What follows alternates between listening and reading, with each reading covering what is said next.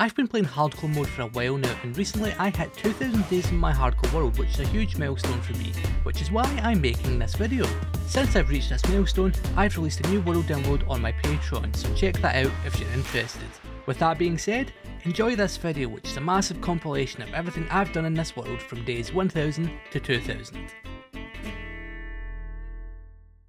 I want to collect lots of totems in my hardcore world. Thousands of them. These will allow me to cheat death forever. To do this, we will need an infinite totem farm. To get totems, we need to defeat a raid, meaning we need to find a pillager outpost. Arriving at the outpost, we need to find the pillager holding a banner. Killing him will give us the bad omen effect. Now, we need to find a village to start this raid.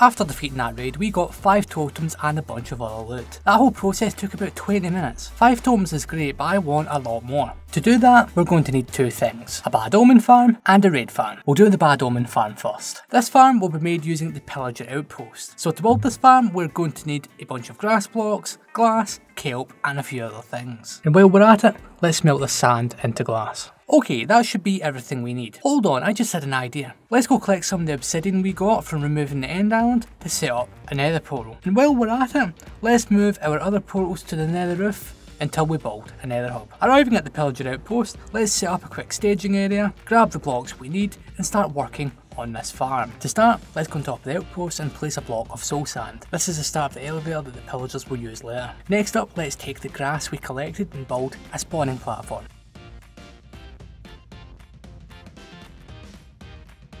Following that, let's build a small platform that I'll come back to later. Now let's place some glass walls on either side of the soul sand, place some trapdoors, and then some signs to hold in the water. And now we build the elevator up and into the sky. When we get to about 115 blocks or so above the spawning platform, we build the killing area.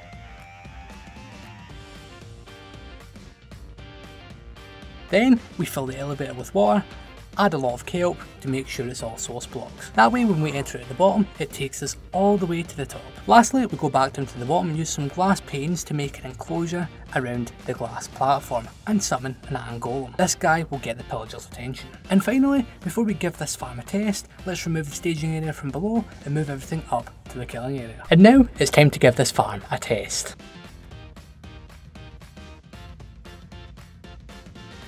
That test was successful. I ended up getting Bad Omen really fast. This farm is something everyone should have in their worlds. With that I consider this Bad Omen farm complete. Now I need to get rid of the Bad Omen effect real quick.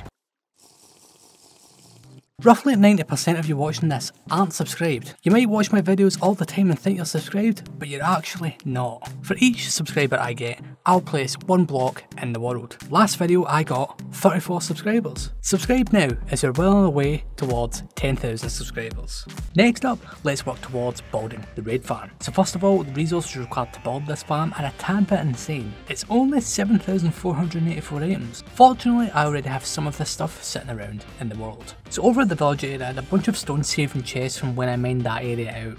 So that saved me a bunch of time. I just need to craft this into the stone related items we need. I also collected some shovels of logs because we're going to need that later on. Before we continue, we should probably handle this storage situation. So... Ah, much better. Now that the storage situation is sorted, let's head over to the nearby desert once again to gather sand. I should probably build a sand duper at some point. And while we get the sand smelted, let's gather everything else we need. Okay, I'm almost finished gathering resources. I'm still missing two things, honey block and four beacons. I thought I had a honey block around here, but I can't find it. Oh well, let's get some empty bottles and now it's time to find some beehives. While I was collecting that honey, I also collected the beehives. I have a plan for these in a future episode.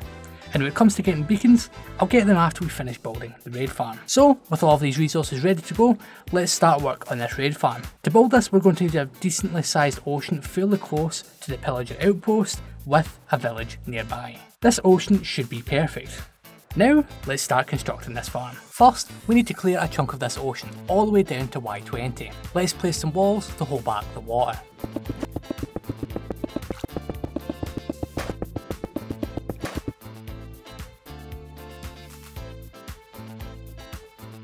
And now, let's drain this thing. Since I don't have sponges yet, we'll have to do this the old fashioned way, using sand.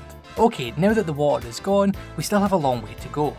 We should have done this in a deep ocean biome. Oh well, let's get the pick out and clear this all the way down to Y20. The process of digging out this chunk was excruciatingly slow. I kept on encountering dirt and gravel, which slowed me down substantially, and lots of water-filled caves. The sand came in handy for those. At the end, I realised that I'd forgotten my beacon. It was still over at the villager area.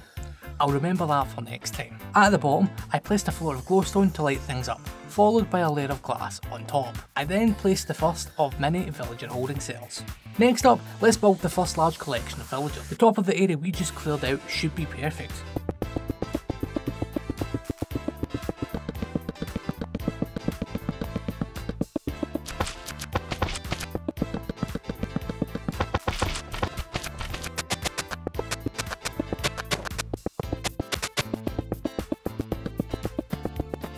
I'll populate this once the raid farm is complete. This module and the others to follow make use of redstone, so we need a way to transfer a signal from the top of the farm all the way to the bottom. There are several ways we can do this. We could have a redstone line going all that way, use some slimestone, or we could use the far superior wall. Updating a wall at the top will send a signal right to the bottom. Now, let's take this wall up and into the sky.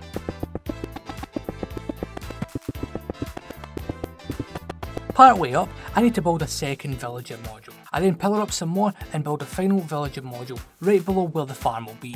I also make a start to the bottom of the storage system with some pistons. And I build a large glass platform to store all of my shulkers and to gain access to the storage system. Now I add the finishing touches to the wall pillar, so the construction of the bottom section is now complete. Since that section is done, my new goal is to get the storage system mostly complete. This storage system is quite interesting. Typical raid farms make use of a standard chest wall and nothing else. We can't do that for this design. This design would fill a standard chest wall in under an hour. Not great when you plan to AFK for multiple hours at a time. To make the most efficient use of space, we'll be making a storage system that uses shulkers. Approximately 300 shulker boxes per hour that we AFK. The shulker loaders we are using in this farm are quite large because they operate at 2 times hopper speed, meaning we need less of these modules to get the same results. Unfortunately, this means that I'll have to go crawling through the system later on to get the AM sorters working properly.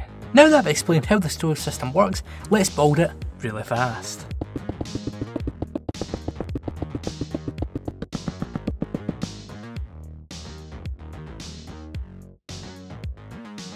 Before I finish the storage system, I place a large beacon base, enough to support 4 beacons, followed by the item water stream. This means I can now cover all of this with a final layer of glass. Now we get to the main event.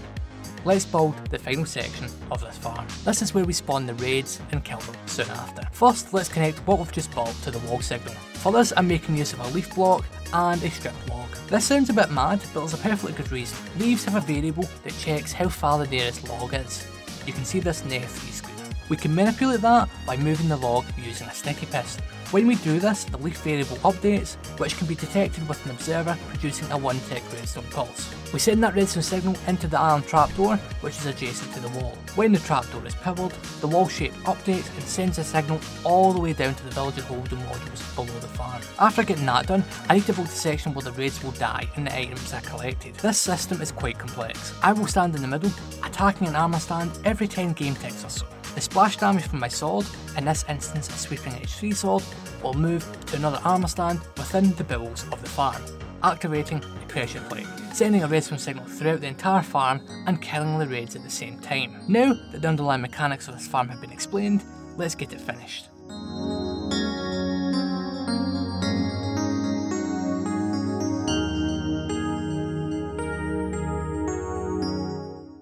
So while we are getting this farm finished, I made a few critical errors. I spent some additional time after getting things finished making sure everything was fixed and ready to go. Then, I finally added the last bit of the storage system, which is the ability to turn the shulker loaders on and off. And with that, the construction phase of this raid farm is complete. Now we need to create the nether side of this farm. Fortunately, this will be quick and easy to do. First, let's activate the nether portals within the farm. Then I need to go through to find out where we need to place this segment. This place won't work. Right, let's deactivate this portal and make for the nether roof. On the roof, I need to make a 3x3 nether portal.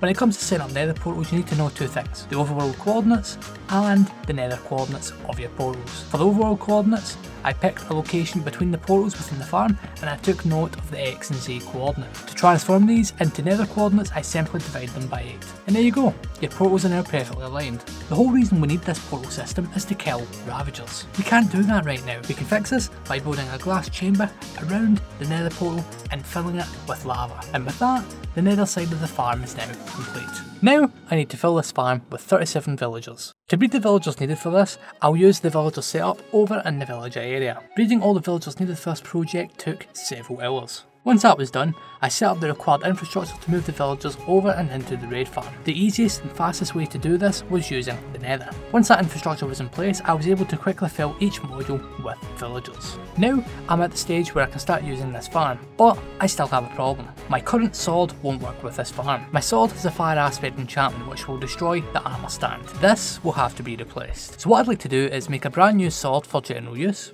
a sword dedicated for this farm, and a helmet since I don't have one of those yet. These are all enchanted as well. Good thing we have villagers for that. While I'm at it, I should probably get Swift Sneak 3 on my leggings. This means I'll have to travel over 5,000 blocks to find the nearest ancient city. This is the first I've tackled an ancient city since it was released in 1.19. I snuck around the outside walls of the city removing sculk shriekers and looking for chests. Doing so I found lots of loot, including two enchanted golden apples and a Swift Sneak 3 book, all without summoning the Warden. Since I like to go overboard in this game, let's upgrade all of this new gear to Netherite. I also want to upgrade the other tools in my inventory, which means we will need 6 pieces of Netherite, which translates to 24 pieces of ancient debris. I have the perfect mining spot for this in the Nether. I was down there mining for around 2.5 hours. After collecting all the ancient debris, I quickly went to the gold farm to repair my tools and to collect 24 gold. I then used this in combination with the netherite scrap I got from smelting the ancient debris to create 6 netherite ingots. And now, after nearly a year in this world, all of my gear is now fully upgraded to netherite. This upgraded gear is now perfect for hunting wither skeletons, which is ideal considering we need 4 beacons for this farm. I was only in the nether for about an hour before I had the 12 wither skulls I needed. Then it was just a case of going to the end and using the central end portal to quickly kill 4 withers. It then took only a few minutes to craft and install the beacons and to apply the required effects. I also used this time to add the farm sword to the wall using an item frame. And now this farm is ready to go. Before I use this farm I need to deal with the storage situation. As it currently stands we will go through 300 shulker boxes per hour that we use this thing. But I plan on expanding this so I will need a lot more. The issue is that I can't currently craft that amount. To start my shulker farm is completely broken and I farm all of my wood manually. Let's fix that. First, let's work on a wood farm. My favourite type of wood to farm is spruce. I typically farm them by laying out a bunch of saplings to grow 2x2 spruce trees. This gets lots of wood, but takes ages to remove. What if I told you there's a farm that can do all of that? The resources required are a tad bit insane as you can see here. Fortunately, I've gathered a lot of this stuff already from when I did my resource collection earlier on. Let me get them organised real quick. There we go. For this farm, I'm going to build it in the spawn chunks and will most likely move it elsewhere later on in the world. This farm is broken up into three parts. The first is the bone meal farm which supplies 15,000 bone meal every hour. It converts stone to moss, then passes the moss through a composter to create bone meal. I'll build this one first. This bone meal farm was designed by Ilmango and is fast and easy to use, plus it's easy to expand. I'll be using this design a lot later on in the world. Next up, we have the tree farm itself, which was designed by Activation. This thing is quite complex. The design is completely free of honey, which is great considering that I don't have a farm for that. Plus, it produces 161,000 logs per hour. The final part I need to construct is the storage system, which for the sake of time, I'll go with a bunch of shulker loaders. These shulker loaders are far more primitive than the ones used in the raid farm and are easier to build and work with. And with that, the wood farm is complete. I will still need to fill the storage system with shulkers, so I should probably build a new shulker farm. This new shulker farm should be a bit simpler and easier to build, mainly because it uses a bunch of scaffolding blocks. Fortunately, I have a small bamboo farm back in my starter base, which should be more than enough for this project. After harvesting a bunch of bamboo and doing a lot of crafting, I have all the resources needed for this project. When it comes to making this farm, I'm going to build it right behind the tree farm. Since this farm was a bit simpler than the previous one, I was able to build it a lot faster. It's made up of two elements, the central area where the snow golems fire at the shulker and the spawning platforms around that, which are made of alternating layers of scaffolding and slabs. This leads up top to where the shulkers die due to entity cramming, and their drops are collected in this chest. This farm produces 750 shulker shells per hour, so I might need to expand this storage system in the future. Now, I need to get this farm up and running by getting a shulker. I've went ahead and set up a rail line with an activated rail at the end. This should eject the shulker into the farm. Normally I'd have to go and collect a shulker from the end, but I already have two back at spawn from when I first built the original shulker farm. I'll use one of these shulkers and we'll keep the other one as backup. And after a few moments, this shulker was in the farm meaning that the shulker farm is now complete. And after all of that, I want to do an AFK session with both the shulker farm and the tree farm running. With the shulker farm, it's just a case of flicking a lever, but with the tree farm, it's a bit more complicated. First, I need to jumpstart the bone meal farm. I can do this by inserting some handmade bone meal into the farm and flicking this lever. After a few minutes, this farm should be up and running. I'll let this run until it starts to fill the tree farm with bone meal. Then it's just a case of turning on the tree farm entering the minecart in the middle and going AFK while I place these saplings. That AFK session got off to a bumpy start. That tree farm kept on breaking because of some composters I placed in the storage system. I wasted quite a bit of AFK time before fixing the problem. After that the farm worked perfectly. As you can see from that chest I got a lot of wood in the time this thing was working. About 55,000 logs if my math is correct. This was a good investment. The shulker farm also worked perfectly during that time. Fact, it stopped all other hostile mobs from spawning. The success of both of these farms means that I can populate the raid farm with shulkers. But first, I need to make a few changes. This raid farm produces 898,000 drops every hour, but with the current storage setup, we only store a small percentage of that. This needs to be expanded massively. Since I already have the design, building this should be fairly fast. This new expanded storage system will be used to store all of the redstone, gunpowder, glowstone and balls that this farm produces. I'm also making a massive section at the end to store emeralds. Now you may have noticed that I left a large gap between the emerald storage and everything else. This is because we're going to store the totems in this section. Sorting and storing totems of Undying is an interesting challenge because totems are unstackable items and will break traditional item sorters. However, with recent updates to the game, that's no longer a challenge. I simply need to make use of an allay, 3 to be exact. Back at the Pillager outpost, there are two allays in a cage. I can duplicate them using an amethyst shard. And for the sake of this story system, I'm going to put them in minecarts and move them over to the raid farm. I'm going to go with a chest wall at the bottom to store the totems, and we'll leave some space where the hoppers should be at the top for the allays. To get them to filter the totems properly, I'm setting up some redstone with note blocks. That way when I use the farm, I need to flick this all over for this system to work perfectly. Now, all I need to do is move the allays into this hole, cover it up, and this storage system is ready to use. I now have the tedious task of crawling through the internals of the item filters, filling them with the required items. I'm also going to destroy all other items right before the emerald section because I don't need emeralds right now. Plus, it would eat through my shulker supply rapidly. And then, for the sake of keeping things nice, I'll use some item frames to label the storage system. After all of that, I'm finally ready to use this farm. It's just a case of going to the Bad Omen farm, using it for a few minutes to get the Bad Omen effect, then coming back over here to the Raid farm and beginning my first AFK session.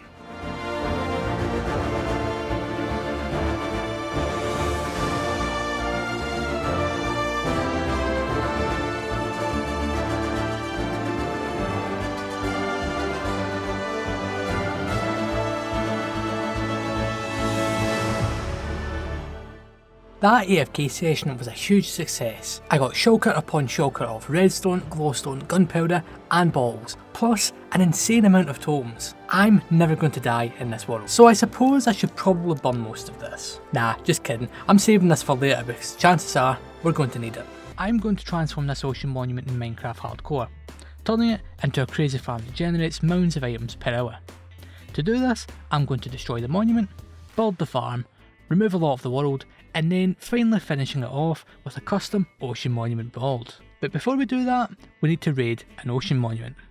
I've picked out an ocean monument that's only a few hundred blocks from spawn. For the sake of speed, I'll make use of some slime blocks, redstone blocks and TNT so that we can blast our way into the monument straight to the Elder Guardians. Doing this made killing all three of them a quick and simple task to complete. Once I removed the mining fatigue effect, I went looking for the sponge room within the monument, ending up with a lot of sponges. These will be useful later on. Now, let's move towards removing this ocean monument. Since I've been working underwater for a lot of this project, setting up a conduit sounds like a good idea. I went and raided a nearby shipwreck looking for a buried treasure map. This map led me back to spawn where I found a buried chest containing a heart of the sea. This could then be combined with nautilus shells to create a conduit. But I didn't have enough, so I went looking for my OP fishing rod, found it, and went to do some fishing.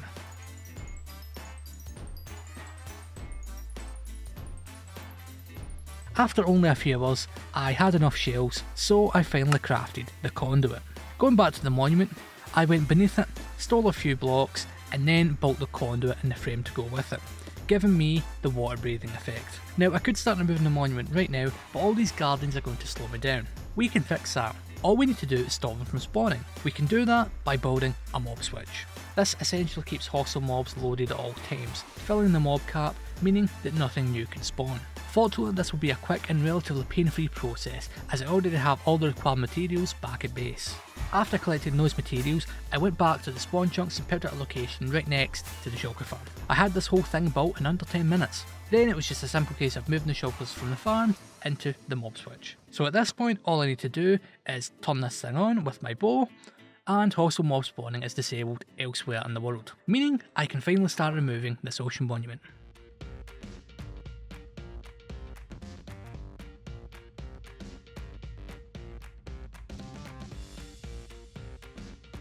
This should be plenty of space for this farm. Unlike other designs, the one I'm using takes up the full monument bounding box and it requires an insane amount of resources. Sounds like a lot of work, but that's why I'm here. So I'm going to be building most of this farm using 21,000 cobblestone. That's about 12 and a half shulker boxes. I'm not mining that by hand. Fortunately, I can build a cobblestone farm. This design is relatively complex and requires all these materials, which are easy to acquire. After getting these shulkers filled, I need to build this farm. Since I need it quick, I'm going to build it here in the star base. This area on the surface should work great.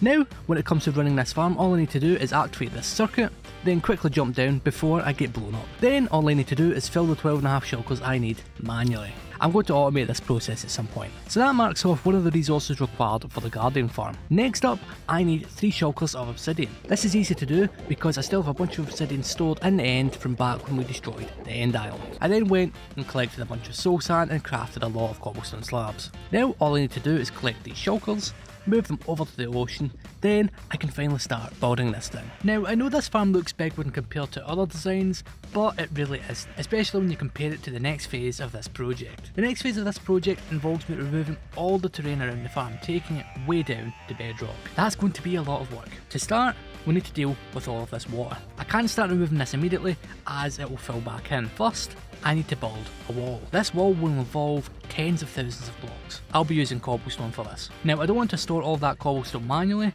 so now I think it's time to automate our cobblestone farm storage setup. This is going to be a mix of water streams and shulker loaders. 4 times hopper speed shulker loaders to be exact. Now I can sit here AFK and all these shulkers will be filled manually. Then it's just a case of taking these out of storage, move them over to the Guardian farm and I can finally start building this wall. To make things interesting, I'll be going with a circular wall. This circle is 600 blocks across, that big that I needed a render distance mod to show the whole thing. This area is huge. Draining this is going to take a long time. I'm going to need a lot of sand. However, mining sand is far too slow, so let's dupe it instead. To build this duper, I need a lot of redstone materials. Gathering these took a while. I also gathered some additional materials in this second shulker box. After picking them up, we need to find a stronghold. For this stupid, I'll use a stronghold I found back in my first 100 days. Before I start building anything I need to expand this area. I only pushed the walls out by a few blocks. Now I need to remove the portal frame using this neat little trick. Red mushrooms are OP.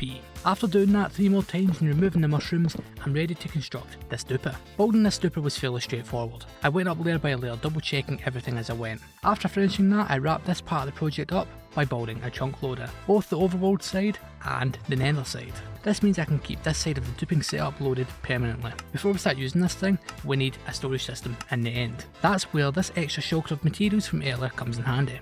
This storage system was really quick to build. Like other systems used in this video, it is shulker based. After building that, all I had to do was fill this storage system with shulkers, go back to the overworld to turn on the chunk loader, and then finally turn on the duper. I then went AFK in the end to then come back to a storage system full of sand, meaning I could start draining the area around the Guardian farm. But first I had to go and turn the duper off, and in doing so, I broke it, so I'd spent 10 minutes fixing everything. After fixing that duper, I came to the realisation that I need a lot more sponges. A few stacks at least. So I gathered some monument raiding supplies, then spent the next few hours raiding nearby monuments, ending up with a lot of sponges, most of which had to be dried out using the nether. This will speed up the draining process. I then collected the sand that was in the end storage, went to repair my gear, then flew over to the Guardian farm, meaning the draining phase of this project could begin. To start, I'm going to section off a really small area, an area with a width that is perfect for using sponges. Draining this section was a quick process. Gathering all those wet sponges took a while. Now that I look at it, that was a really small section. Draining it this way will take thousands of hours. I have another idea. Why don't I use flying machines? I saw a design by Rays Works from a few years ago that should be perfect for this project. In a creative world, I've prepped a large section of water and I have this machine over here ready to go. All I need to do is update this observer and the machine is away. Look at it go. This thing is really fast and it moves a lot of water at once. Let's build it. The issue is that it requires a lot of resources I don't currently have, mainly lots of slime blocks and honey blocks. So to build this machine, I'll need two things. I'll need to expand the slime farm, then build a honey farm. Expanding the slime farm was a straightforward process. I added a bunch of extra spawning platforms. I've been meaning to do this for over a year now. That cobblestone farm from earlier came in handy. So, with the slime farm sorted, let's work on this honey farm. First, I need a lot of bees. I don't currently have any, so it's time to do some exploring. After a while, I had a bunch of beehives and some bees. I then had the idea to build a bee breeding setup. So I crafted a bunch of campfires, fence gates, and collected some flowers. Then I built a quick and simple breeding setup. To breed all these bees, I'll use the poppies from the iron farm. For the honey farm design I have in mind, we'll need 80 beehives full of bees. So I started breeding. After a few hours, I had all the bees needed for this honey farm. I then went and gathered all these resources. Then I found a spot on the nether roof that was perfect for this farm. I managed to fit the entire thing within range of a chunk loader, meaning I could have it running at all times. The only thing I had to do now was place all of these beehives. Now, before I turn it on, I need 80,000 bottles. Good thing we have a sand duper. Turning that sand into glass will take a long time, so I decided that a temporary super smelter would be useful. Once again, the surface above the starter base would work great. I only had a small amount of coal to start this, so I used it to smelt a few shulkers of logs, giving me lots of charcoal. This charcoal was then used to smelt all the glass needed for these bottles. After AFKing for a bit, all of the glass was ready to go, so I spent a while crafting them into bottles. I then moved all the bottles over to the honey farm and filled the whole thing. Then all I had to do was activate the chunk loader and turn on the farm. I then flew back to base and went AFK at the slime farm. I ended up with a lot of honey bottles that needed to be crafted into blocks. Same with the slime. Then I had to collect a few other redstone components, meaning I had all the resources required for this draining machine. After collecting this box of resources, I'm going to fly over to the Guardian farm area. My first priority is to test this within the circle. First, I'm setting up another portal so that I can dry off my sponges if the need arises. This deep part of water here should work perfect for this test. As this is a simple design, the building process was fairly fast. So, to activate this machine, all I need to do is update this observer and the flying machine is away. Oh no, I think I messed up. The water isn't being removed. I need to stop this machine real quick, then build a wall around it in the water below and then I'll drain that entire section.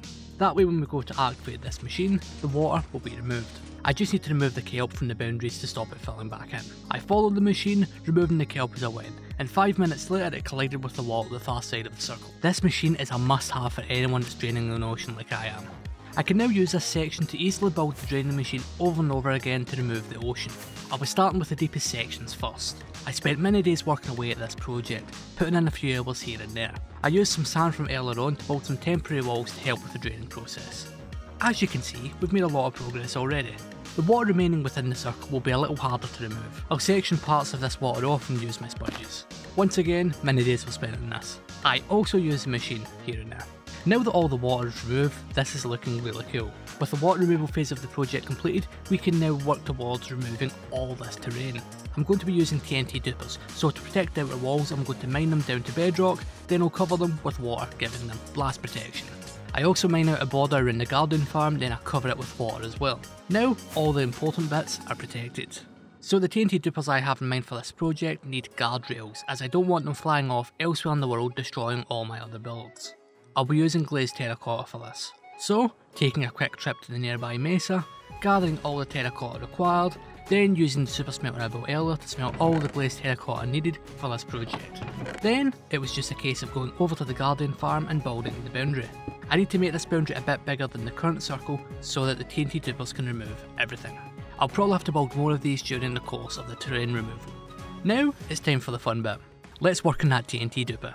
The resources required for this are really easy to get at this point. After picking those up, it's time to head back over to the Guardian farm. I'm going to build this TNT duper very carefully. One wrong move and things could go bad. To start this duper, all I need to do is remove all these chests, then update this observer, and the TNT duper is away. Let's have some fun.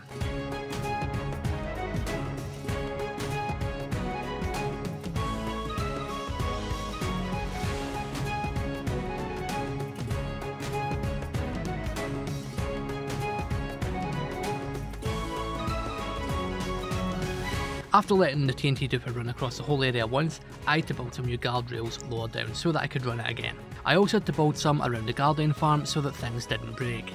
Let's just say it would have been better if I built the Guardian farm last. As I got further and further down, the machine got faster to run. It did however start leaving some floating blocks. I hate Deep Slate.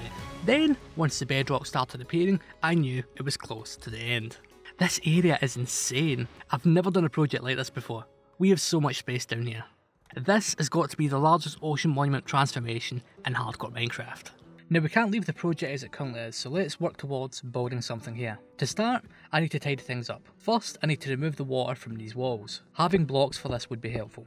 Then, it should just be a case of quickly placing this top layer of blocks, removing all of the water. But it isn't that simple. I need to go around this entire thing making repairs. This water was useless. So here's a before shot, and here's an after shot. This is looking much better. Now, I need to remove the water from this farm, make repairs, then remove the terrain beneath it, leaving us with this insanely tidy area which is ready for building. Now, I've had an idea for this build since the start of the world. Before I start, let's head into a creative testing world. So, what I have in mind for this is we do a large monument build in the middle, the monument being represented by this block. Then we do a circular perimeter around it. Now I don't want these walls to be flat, so let's step them back giving us 3 levels. These levels will have grass and trees. Since the walls will be a big part of this, I need to work in their texturing. I can't make them too detailed as it will take away from the central build, so I'll keep them flat and we'll use a mix of different blocks. I want to start with some grey tones at the bottom, then moving up to a light grey concrete like texture. Here's a mix of blocks that will work. Getting them in a nice gradient is another thing entirely. I have an idea for this. I'm going to summon my inner Bob Ross and we'll use this canvas. Using World Edit, I'm going to break it up into different sections. The bottom section will be the darkest and the top section will be the lightest. Then when it comes to selecting blocks, I'll use the World Edit Replace function to fill it in. Here's the command and block percentages I used. Then I do this for each individual layer, changing the materials and percentages as I went, ending up with this masterpiece. While you admire that, I went and designed everything else, but you'll need to keep on watching to see the finished build. So, jumping back onto the hardcore world, I have a truly insane resource list to put together. I need over a million items. If I could get a subscriber for each item, that would be great. Fortunately, I can farm a lot of these. Let's focus on the wool items first, by building a wool farm. Here's all the resources I need for this farm, which I already have a lot of. I do however need a bunch more sheep, so let's breed some. Then I got to work building the sheep farm in record time, plus moving all the sheep into place. Since I'm going to be in the area for a while, I'll leave it turned on while I work on the next items. I'm going to need a lot of concrete. Now I can use a sand duper to do concrete powder, but concrete is another story. Converting it manually takes far too long. Once again, I can build a machine for this. I decided to build it right next to the starter base, allowing for easy use. Then it was just a case of giving it a quick test run. All I need to do is place my blocks here, and then these blocks are moved over into the blast chamber where they're blown up and stored automatically. To get all the required resources, I'm going to need to AFK for a while. First, I'm going to prep the storage needed to house all these items. This island next to the Guardian farm should work great. These chests will hold around 700 shulkers.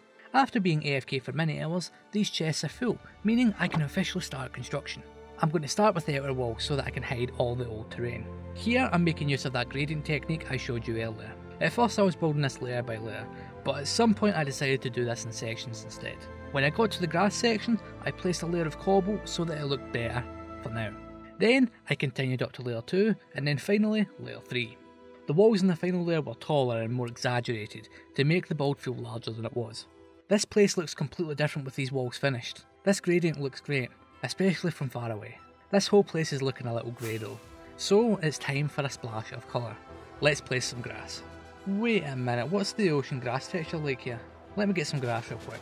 Placing that grass down, I'm not liking it. No, that doesn't look good at all. Let's get rid of it. Instead what we'll do is we'll use the gradient method from earlier on to build our own grass texture. Good thing I planned ahead for this. The grass gradient looks far more vibrant than regular grass. It makes use of moss blocks, green wool and concrete powder. That was the splash of colour this build needed. This is looking great. It will look even better once it's completely full of trees. We won't be building default ones, let's do some custom ones for this build. I'm jumping into a creative world once again to show you how I build my custom trees. First I start off with the central trunk. I build it almost as high as the final tree will be. Then I return to the base of the tree and I expand it making it look nice and organic. I then move up the tree and I start placing my branches. I always go with 4 large branches coming off in each direction. I twist and turn them at random giving it a unique shape. I then add slabs and stairs here and there to help with the overall shape. Then I use fences to make smaller branches. And finally I start adding layers of leaves, with lots of air pockets in between them. I feel that these types of trees look better using this method. If you want to do your own custom tree, following this little mini tutorial you can have your own custom tree in under 5 minutes.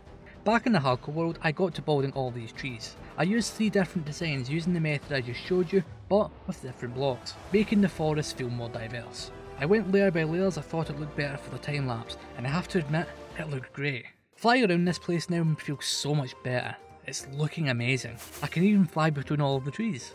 Now with all of that out of the way, let's get to the main event. Let's work on this central build. So when it came to designing this central build, I wanted to do something interesting. Almost everyone that does these transformations will keep the original shape of the ocean monument and might switch out the blocks.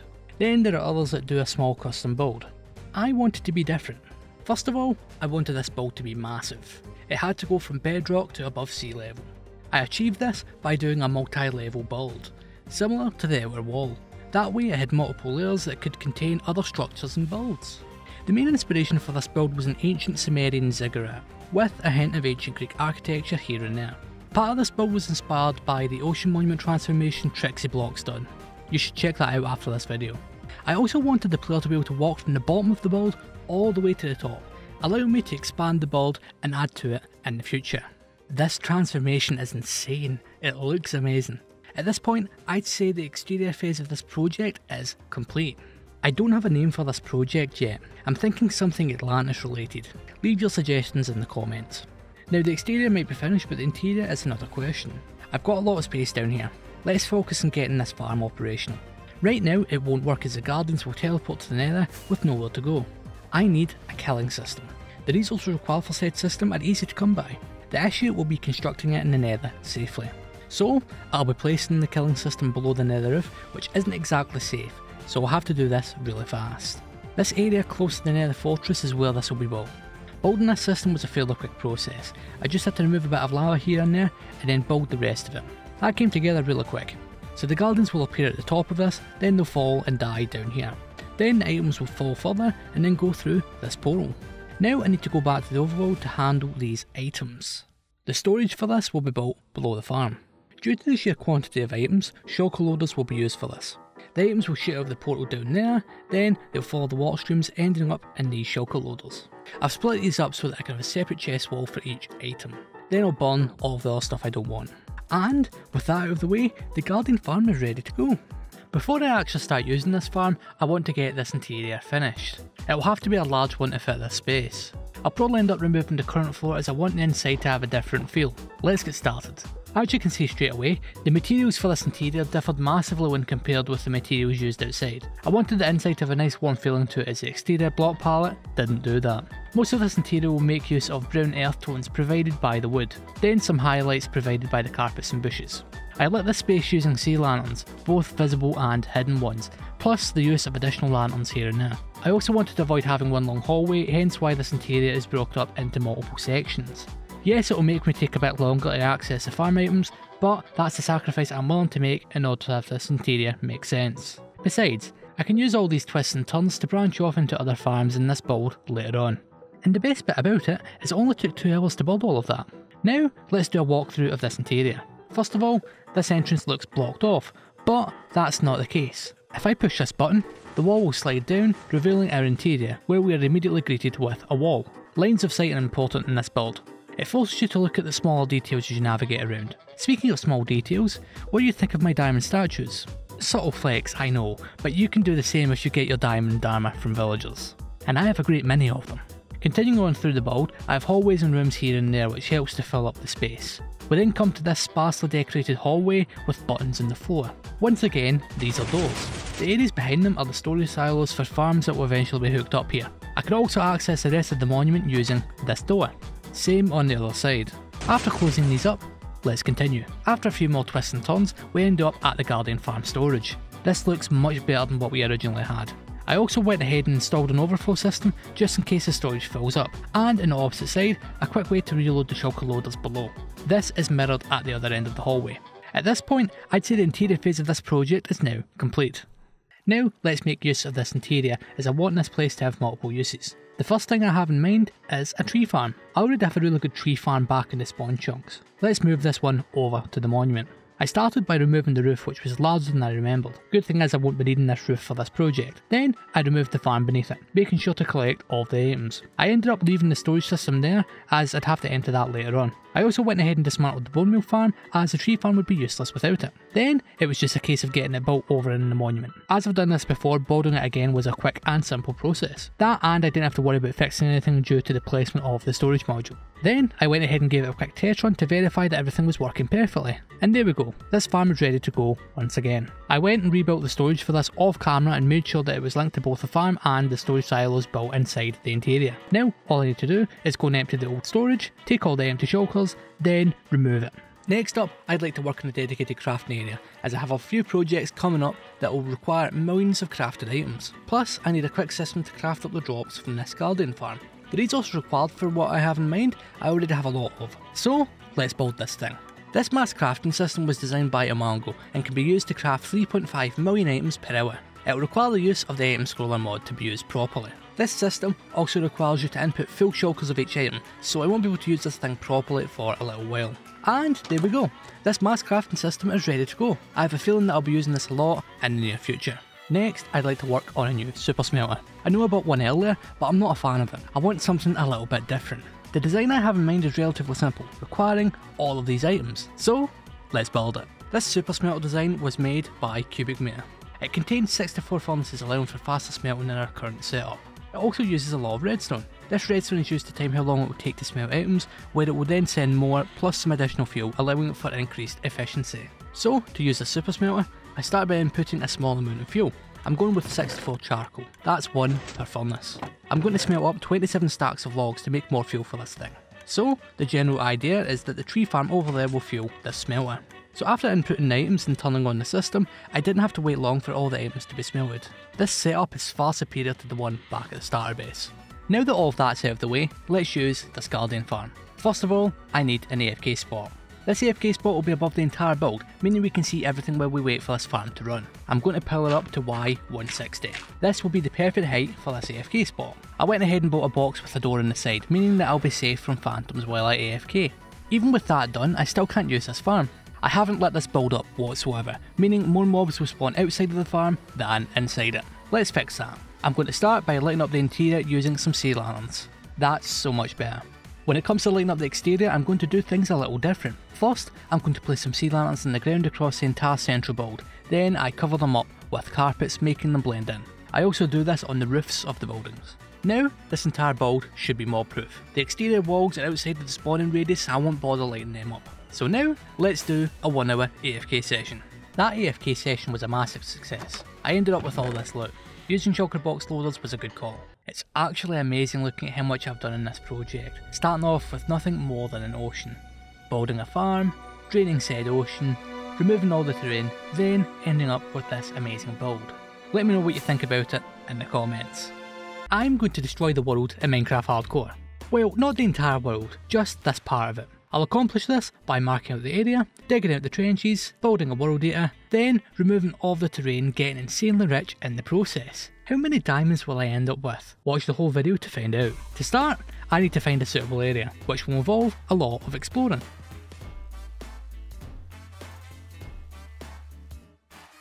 This area up ahead should work great. Let me land real quick. This area looks flat enough, so let's get started. First, I'm going to mark out the corners of this area using slime blocks. 64 slime blocks in each corner should work fine. I'm going to have to remove some of these leaves. Then, I pillar up in the first corner.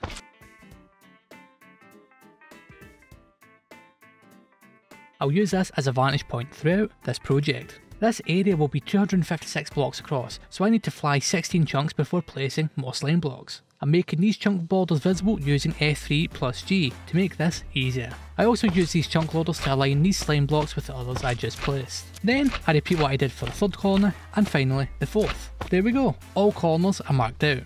Now before I do anything else I need to set up a way to travel quickly between here and the starter base. I'll be building a nether portal for this over there in that meadow biome. This will be a staging area for this project.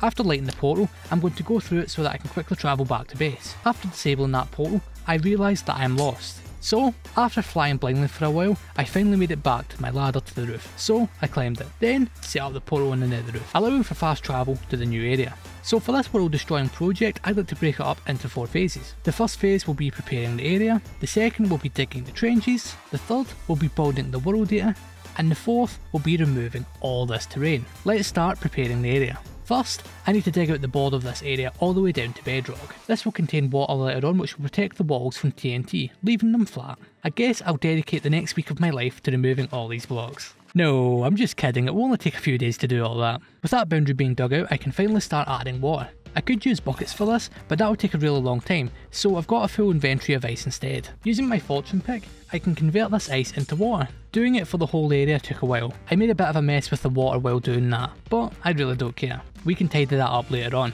Now that these walls are protected, let's focus on these trees. They can't be here, so let's remove them. I could use machines for this, but I won't, so let's remove them manually. These trees would interfere with later phases of this project, so they had to go. Plus, it allows me to see this whole area a lot better. This area feels huge, and a bit weird since there's nothing here, but that won't last for long. With that, I consider phase 1 of this project to be complete.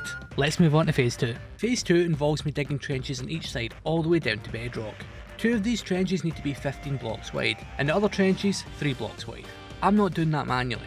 Fortunately, there's a machine for that. Here are the resources required to build it. I've used this machine once before around 2 years ago and it should still work. It's just a simple array of TNT dupers. Now if you're going to build this duper, you can't place the minecarts straight away on this, as the TNT will activate and will have to be replaced. So, how do you prime it? Well, I'm glad you asked. Here's what to do. I add two blocks in the side of the dupers, placing an activator rail and a piston. I then add a minecart and power the piston with a redstone block. Then I remove what I just placed and the TNT duper is ready to go. This is a quick way to prime most TNT dupers, so keep that in mind. So after getting those built, I also placed some obsidian at the far end right here so that the machines would bounce back. So the general idea is that the machines would fly back and forth over this area. To get this started, I'm going to flick this lever which enables this circuit to work. This basically means that when the dupers return, they run again. Then in order to activate the machine, for the first time, I press this button down here, and the TNT dupers are away. Let's dig this trench.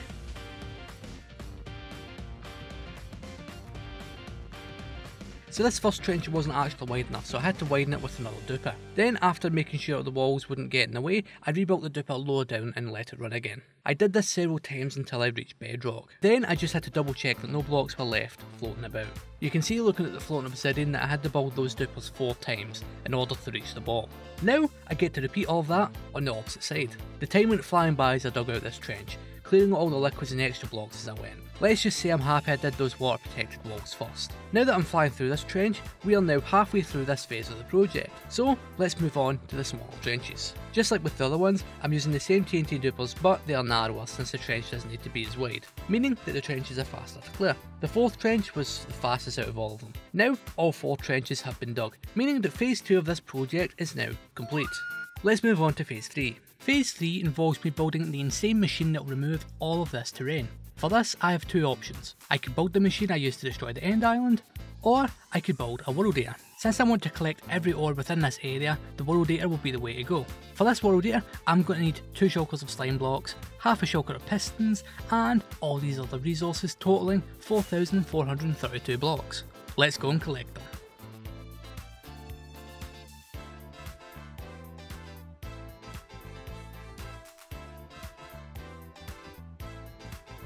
So far I've collected all these items but I'm still missing one thing, coral fans. 41 of them to be exact, which will involve me travelling several thousand blocks to the nearest coral reef. Here's an idea for the Minecraft developers. Make coral fans renewable. Arriving at the nearest coral reef, I decided that building a nether portal first would be useful since I come here a lot. I should have done this a year ago.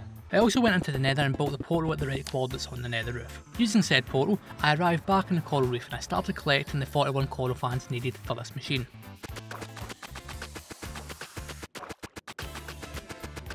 I'm only collecting the blue ones so that they stack nicely. Then, I'm going to dry them all out. With that done, all the resources required to build this world eater have been collected. Well, all except for the minecarts that is. To save an inventory space, I'm going to take a shulker of iron from the iron farm, and we'll craft the minecarts over at the project area. Now, I can start building this machine. My first order of business is to place down all these shulkers, freeing up inventory space. Now, Let's get started. The first part of the machine I'm working on contains the sweeper modules. These will remove any liquids they come across within the marked out area. They will also move down when the machine is activated. This was the simplest part of the build. Next up, I'm going to focus on the activation system at that end of the machine. This part starts the entire machine and connects it to the TNT dupers at the top through this slime block tower. Think of this entire machine as one giant flying contraption. Unlike other designs, these TNT dupers are safe to build as the TNT can't be activated until the entire machine is. That is only if they're finished, which they're currently not. As you can see, there are no main minecarts present, so I'm going to have to go through this entire thing placing activator rails. Then, once that's done, I need to place all the main minecarts. Now, this section of the machine is 100% ready to go. The only issue I have is that if I activate this machine right now, it will destroy the entire world. I can stop that from happening by building return stations on the opposite side of the marked out area. These return stations are fairly simple. All they do is stop the TNT dupers and liquid sweepers, push them down one block, send them back, then the entire thing moves down another block. Well, that only happens if you built the entire thing correctly, so I spent the next few hours double checking everything. With those checks being finished, I'd say that phase 3 of this project is complete. Let's move on to the fourth and final phase, by activating this machine. While this machine is running, I plan to collect every ore within this area. How many ores will I end up with? While you work it out, I'm going to activate this machine by removing this redstone block. And with that, enjoy the time lapse.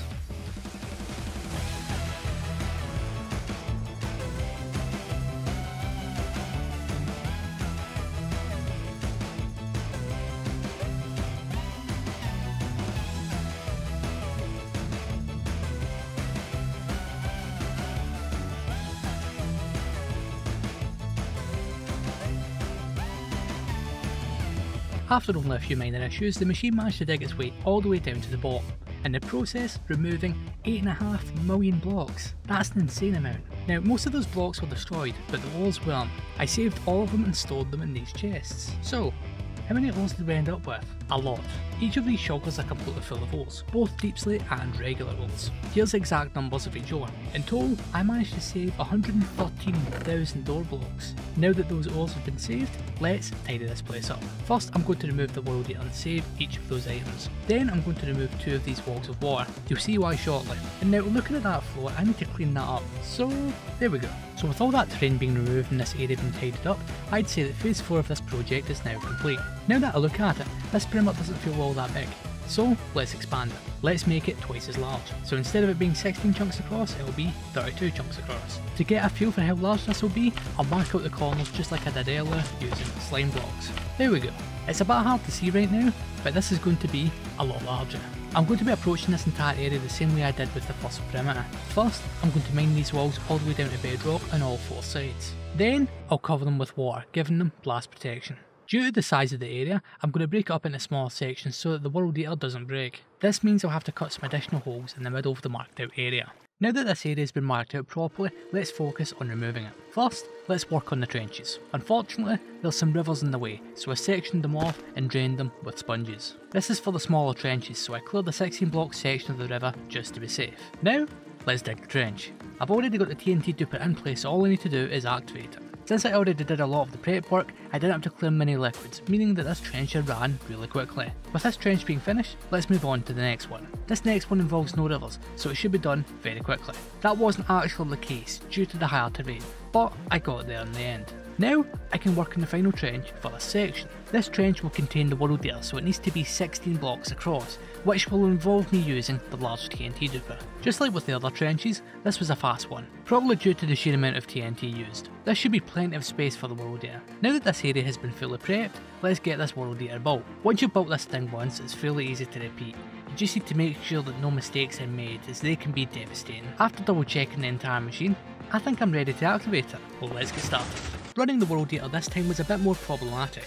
I had to stop it a lot more to fix the sweepers at the bottom as they'd get stuck on occasion. There was also a few instances where some rogue TNT blew up part of my return stations, so those had to be completely rebuilt. That's something I'm going to be keeping an eye on going forward. Other than that, the machine ran perfectly. It didn't take long until we reached the bottom. With that world eater finished running, we have removed a further 8.5 million blocks, bringing our grand total to 17 million blocks removed. That puts me halfway through this perimeter project. This place is feeling a lot larger now. Just like I did before, I saved all the ores I could and stored them in these chests. Surprisingly, I ended up with less ores than the first perimeter. Rather than showing you all the ores I collected during that World Eater run, I'm going to save them until the end where we'll add them all together. To save me a bit of time later, let's expand this storage to accommodate the next half of this project. Unfortunately, I don't have any wood on me right now, so I'm going to go back to the starter base real quick to craft up the 20 chests I need. Then, I'll come back to the project area and place them. There we go. That should be enough chests. Now, let's add the finishing touches to the area I just cleared. First, let's tidy up the floor by removing all that lava and those extra blocks. Fantastic. Now, I can remove this world eater. As always, I'm dismantling this very carefully so that it doesn't blow up in my face. I'm making sure to save each item since I'll be rebuilding this again. Now that this has been cleared, I'd say that perimeter 2 is complete. Let's move on to perimeter 3. Just like with the other perimeters, I need to focus on making the trenches first. In order to do that, I'm removing the water that is currently protecting them. I'm going to focus on making the two larger trenches first. One of these trenches crosses a large river, so I'm going to section it off and we'll use sponges to drain it. After getting that drained, I went ahead and built the trenchers. So now I can actually run this thing. Digging this trench was fairly straightforward as I'd already dealt with most of the liquids when digging out the boundary. In the end I had to build the trenching machine 4 times in order to reach the bottom. Now this trench is finished so let's move on to the second big trench. With that machine being built, let's dig this trench. I didn't have to deal with many rivers this time round which sped this up a lot. There was still a lot of water and lava here, which was easy enough to remove, and in no time at all, I was at the bottom of this trench. Now that both those big trenches are out of the way, let's focus on the smaller ones, where once again I'm using the smaller trenching machine. Since the terrain was far lower than in the previous sections, digging this trench was insanely fast. I didn't encounter many liquids this time round which probably helped. With that trench being finished, let's work on the next one. I already have the trenching machine in place, so let's start it. I technically didn't need to dig this trench due to having all this extra space, but I did it anyway to minimise the odds of the world eater breaking. I'll end up doing this again once we finish this perimeter. All of the trenches have now been cleared, which means I can build the world eater that will remove this entire section. When it came to the placement of this world eater, I did things a little bit different. I placed it a few blocks closer to each of the boundaries in order to test if that would stop the machine from breaking later on. I also did this with the return station segment, and then double and triple checked to make sure that everything was aligned and ready to go. So, once again, let's remove that redstone block and get this show on the road. As this was the third time running this world eater, it became fairly routine. I'd fly back and forth, monitoring the machine, ensuring that nothing was broken, and I'd remove the obsidian and other obstacles as they appeared. Even though I took steps to ensure the machine wouldn't break, it still broke several times, but fortunately, I was able to stop the machine before it blew itself up. That way I could make quick repairs and get the machine going again. I was that busy keeping an eye on things that time flew by and ended up at the bottom of this perimeter. This has got to be the cleanest perimeter floor I've seen so far. One thing I did notice is that I'm missing a liquid sweeper. The return station is also damaged, so where is this missing machine?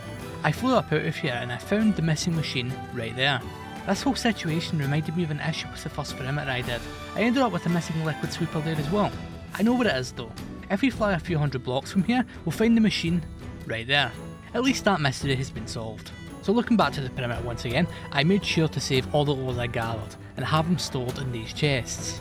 I ended up finding two enchanted golden apples in dungeons. That was lucky. Now, let's focus on tidying this place up. First, I'm going to remove the extra blocks from the floor of this perimeter, meaning that no mobs can spawn here anymore. Then, I'm going to remove this world eater, doing it carefully of course and saving each item. Then, I did the same for the return stations. Now this area is completely tidy, meaning that perimeter 3 of this project is now complete. Let's move on to the final perimeter of this project.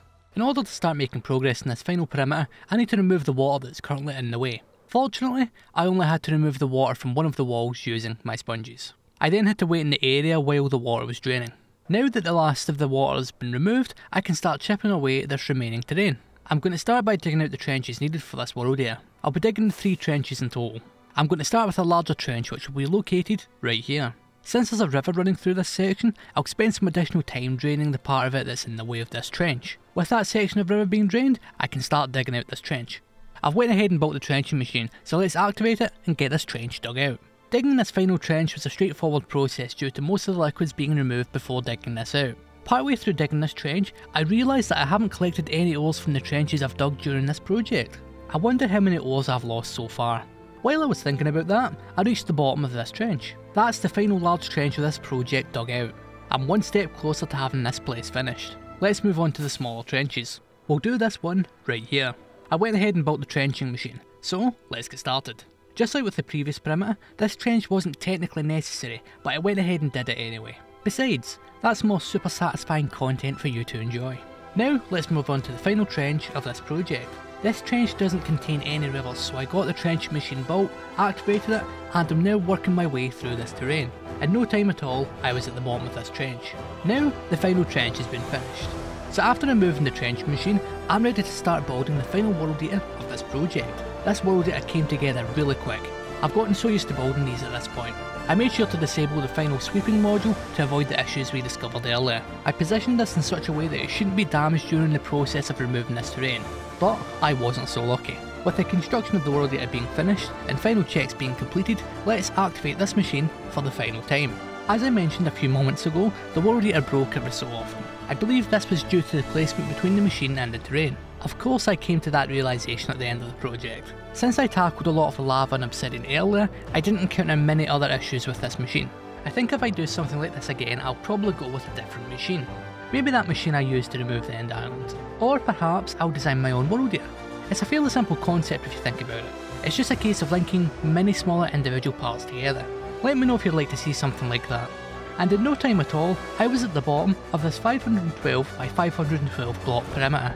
This has been an amazing project so far. Now that this terrain has been removed, I need to tidy this place up, starting with this floor. We've got a lot of lava and extra blocks that need to be removed. That's looking a lot better. Now, I need to remove this world eater. Since I won't be using this any longer, I didn't bother saving every item. At this point it's taking up valuable inventory space, and since it can be crafted easily, I saw no point in keeping it all beyond this point. I also quickly dismantled the return stations. Now that I think about it, I could have used the trenching machines to remove this world eater for me. Words can't describe how happy I am to have this finished. Just look at this place, it's unreal. With that world eater being removed, I'd say that perimeter 4 of this project is now complete. Let's add the finishing touches. Now that everything involving TNT has been finished, I can remove all this extra water. This is going to take a while, so let's get started. Now I have to admit, this wall of water was insanely handy in containing the explosions, but I have to say, I probably wouldn't use them again. The issue is that setting them up is very time consuming. You've got to mine all of that terrain, plug any holes, remove any liquids, and then fill it all with water. That time could have been spent a lot better. Due to the size of the area, I had to fly around a bunch so that the remaining water would be loaded long enough for it to drain properly. Now that all of the water has been removed, I can get a better feel for the scale of this place. This project actually feels complete now. I went through a lot of sponges draining that as you can see here. One thing I also forgot to mention is that I found a music disc as well, which I've been keeping in my inventory for a while. So I popped into the nether real quick to dry out all the sponges and then remove them. Now, let's deal with all these ores. The ores I collected from the final perimeter stored in these chests. That's a lot of shulkers. Currently I have everything sorted based on what perimeter they came from, starting with perimeter 1 on the left and ending with perimeter 4 on the right. In order to start counting everything, I'm using this water to clear all the tall grass, giving me the space I need. So, let's count everything. I'm going to start by taking each ore type out one at a time. First, I'm going to be focusing on the coal ore. Let's sort the shulkers.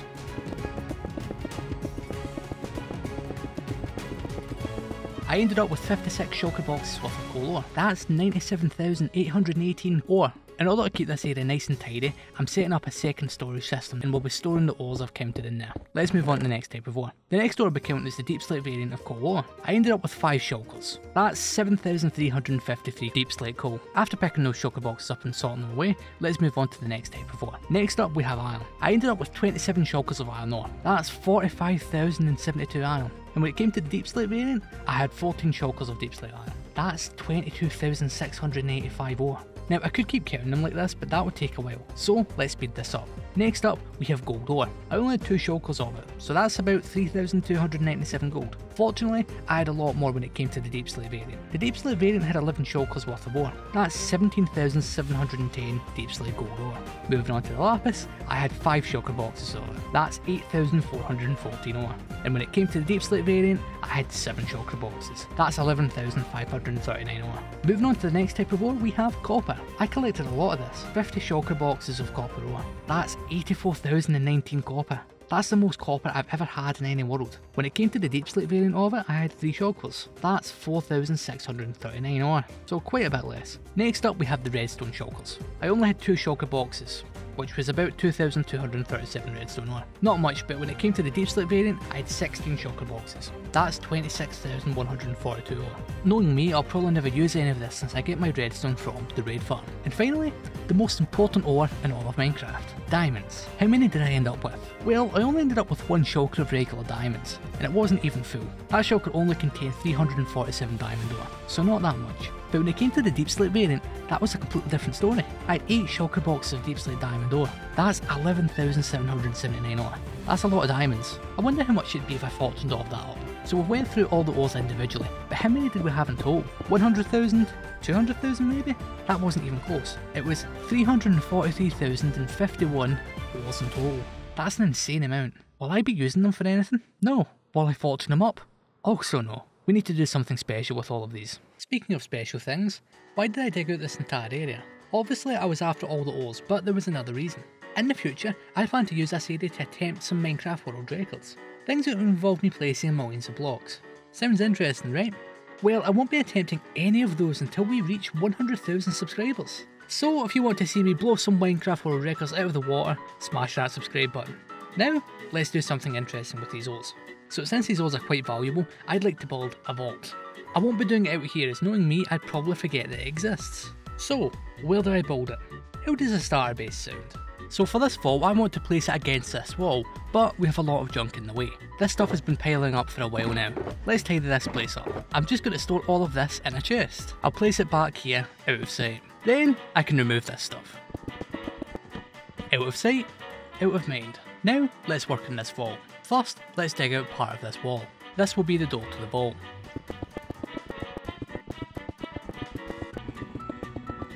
That should be enough space to start working this vault. This door is going to require a lot of redstone. I need to move this floor down 8 blocks.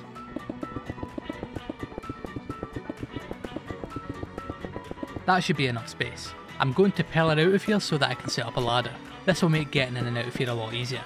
Now, let's work on this door. I've went ahead and collected all the required materials. I've used this design before over on the Guardian farm. So, let's get this ball.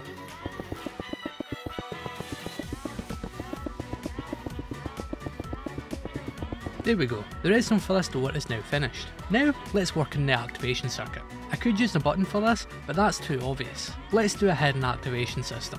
For this, I'm going to be using a torch key to activate this door. All it requires is me placing a redstone torch over here, which activates the door circuit, allowing it to open. Then, the torch breaks, leaving no evidence of the activation method. Sounds simple enough, so let's get the redstone in place. So it looks like this redstone torch key circuit is working. Let's connect it to the door. With that redstone connected, let's get it tested. So it looks like this door is closing just fine, but when it comes to opening it, that's where we encounter issues. This system we've just installed is broken, so I spent 30 minutes working on the door before I got it working again. Now that this door is finished, I can start working on this vault. First, let's focus on hiding this door. Should just be a case of placing the blocks that were used in the walls of this place. Now, it blends in. I always make sure to test these doors once I've placed all the decorative blocks. Looks like it's working just fine. Since I'm working here, I might as well finish the roof. Only took a year and a half to finish this part. Next, I'd like to work on the interior of this vault. I'll be using iron blocks for this. This looks good, but it isn't anywhere near enough space, so let's expand it. With this extra room, I'm going to be replacing all the stone with iron blocks, and I'll be placing a lot of chests. With that half done, let's do the second half. Perfect. Now I just need to finish this place off by replacing the floor on the ceiling. I also went ahead and placed an extra crafting table and ender chest at the end of the vault, and I labelled all the chests. With this vault being complete, let's start moving all the ores. Moving all of the ores was a time consuming process, but in no time at all, all the ores had been stored within the vault. So with this project being finished, I decided to tidy this place up, removing all of these shulkers and extra blocks. At this point, I don't think be adding anything else to this starter base. So this is my wool farm and it's a bit small. So what if we transformed it to be 100 times bigger? I'm only giving myself 50 days to do this. If I fail, this vault containing thousands of diamonds will explode. Let's get started. I want to build this really far away, in a flower forest. Since I need to build this quick, let's use a Minecraft seed finder. All I need to do is enter my world seed, then look for the biome I need. Any of these seed finders will work for this. So I found a flower forest at these coordinates. Before I can start this build, I need to get out there. After travelling for a while, I've arrived at the flower forest in question. This should work for this project. Now, normally I'd build a nether portal for a project like this, but that won't be necessary. If I go in this direction, you'll be able to see the bad omen farm I built a while back. I'll be using this portal for the duration of this project. Now, let's get to work. In order to build the insane wool farm I have planned, I have to build a bunch of other stuff first. This wool farm will contain 1024 sheep, that's 64 sheep per wool colour. I'm going to need a lot of dye. We can make dyes from flowers, which is why we're building in a flower forest. Let's gather the resources needed to farm these flowers.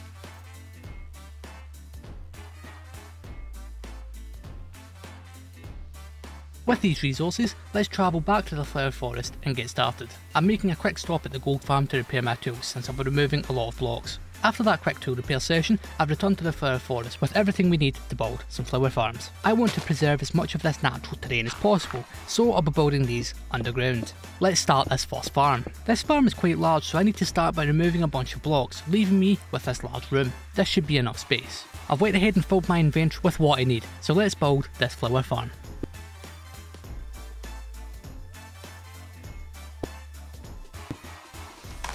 After only 5 minutes of placing blocks, this farm is finished. To turn this thing on, all I need to do is activate this lever. The water will stop flowing, bone meal will be used in the grass, and then the water will activate again. Since I don't have any bone meal or a storage solution currently, I'll turn this off for now.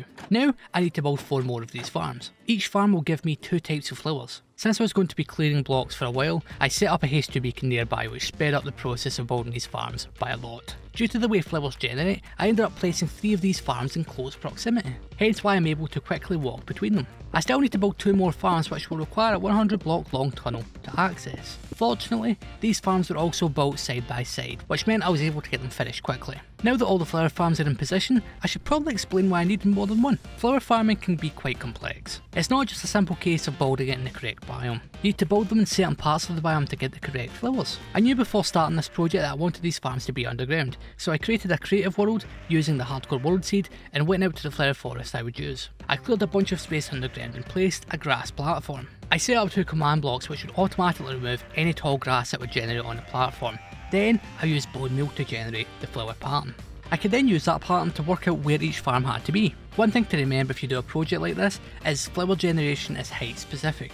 If I went two blocks up, the flower pattern would be completely different. With that short explanation out of the way, let's continue with this project. So these 5 flower farms I just built will generate 6 different types of flowers, giving me blue, orange, red, yellow, magenta and light grey dyes. That's 6 out of the 16 dyes I need for this wool farm. So how do I generate the rest? I build more farms. If I build a cactus farm, I can turn that cactus into green dye by smelting it. I've went ahead and collected the resources needed for this thing. It's a small farm, hence why the resources are in small amounts. I still need to go and collect the cacti needed for this. I'll collect them from this desert, close to my villager area. Now, let's get back to the flower forest so that I can build it. Just like I did before, I'll be building this underground. I'm going to position it between the first two flower farms I built. Building this was straightforward.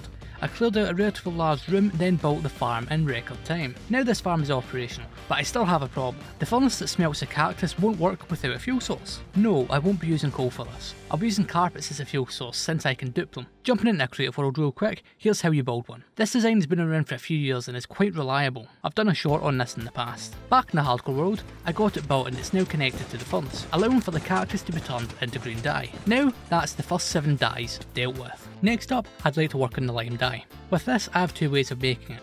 I could combine the green dye from the wool farm with some white dye to create it, or I could build a dedicated farm. I'll be building a farm for this one. I can turn sea pickles into lime dye by smelting it. So I went ahead and started to collect all the resources I need for this farm.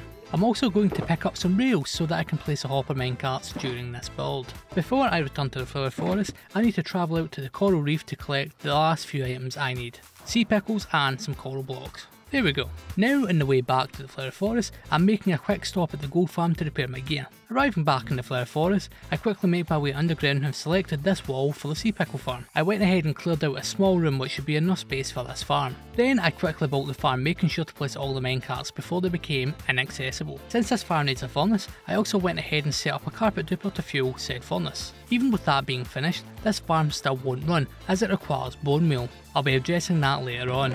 Now, that's 8 dyes dealt with. So far I've addressed 8 out of the 16 dyes needed for this project. Next up, let's work on the brown dye. Farming brown dye in large amounts is very simple, you just need cocoa beans. I should have plenty of these in the jungle near my villager area. I could just fly around here harvesting all the cocoa beans I'd ever need, but let's build a farm for them instead. If you want a quick farm design, all you need to do is place a pillar of logs like this, then cover them in cocoa beans. You could then wait for them to grow, or you could use bone meal.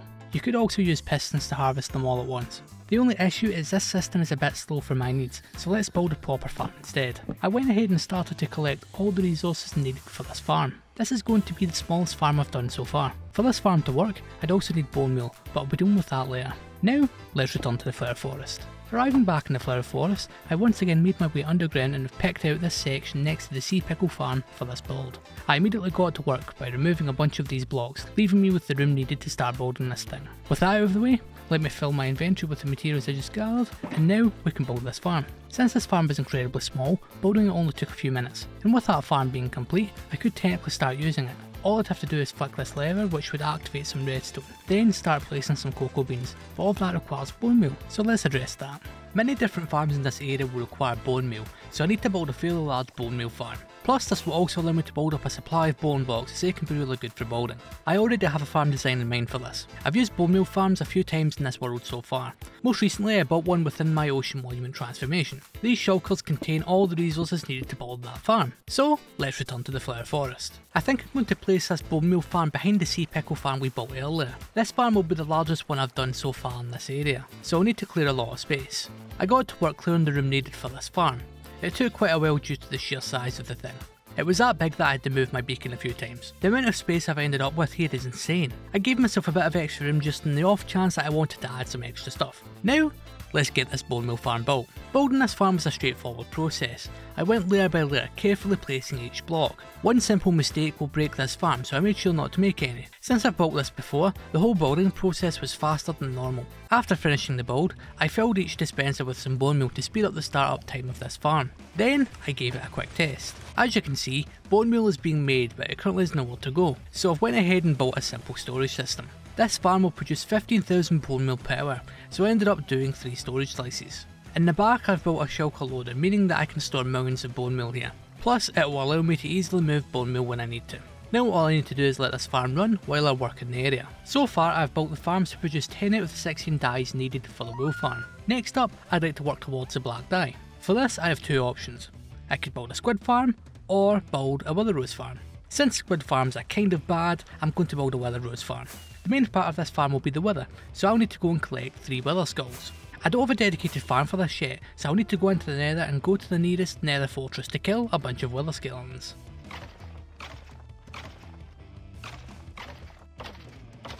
These three skulls are only a small part of the farm, I also need all of these resources. I'm going to be building this farm in the end, making use of the central end portal. But before I start building it, I'm going out to the outer end real quick to collect a few stacks of endstone. I'll be using this to cover the farm. So now, with all of that collected, let's build this farm. This Wither Rose farm was designed by ianxofour.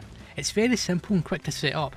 I managed to get all of this built in only 5 minutes. To start using this farm, I first need to spawn the wither. After that, I need to come over here and start placing snow blocks. A pumpkin will then be dispensed, turning this into a snow golem. That snow golem will then be killed by the wither, creating a wither rose. The good thing about this farm is I keep all the pumpkins, and when the snow golems die, they drop enough snowballs to make more golems. One thing I am going to do is expand the storage for shields, that way I won't need to refill it as often. With this farm being finished, I'm going to use it for 20 minutes so that I have enough wither roses for the wool farm. That should be plenty of wither roses. I'm just going to leave that wither there for now. Killing it wouldn't be worth it.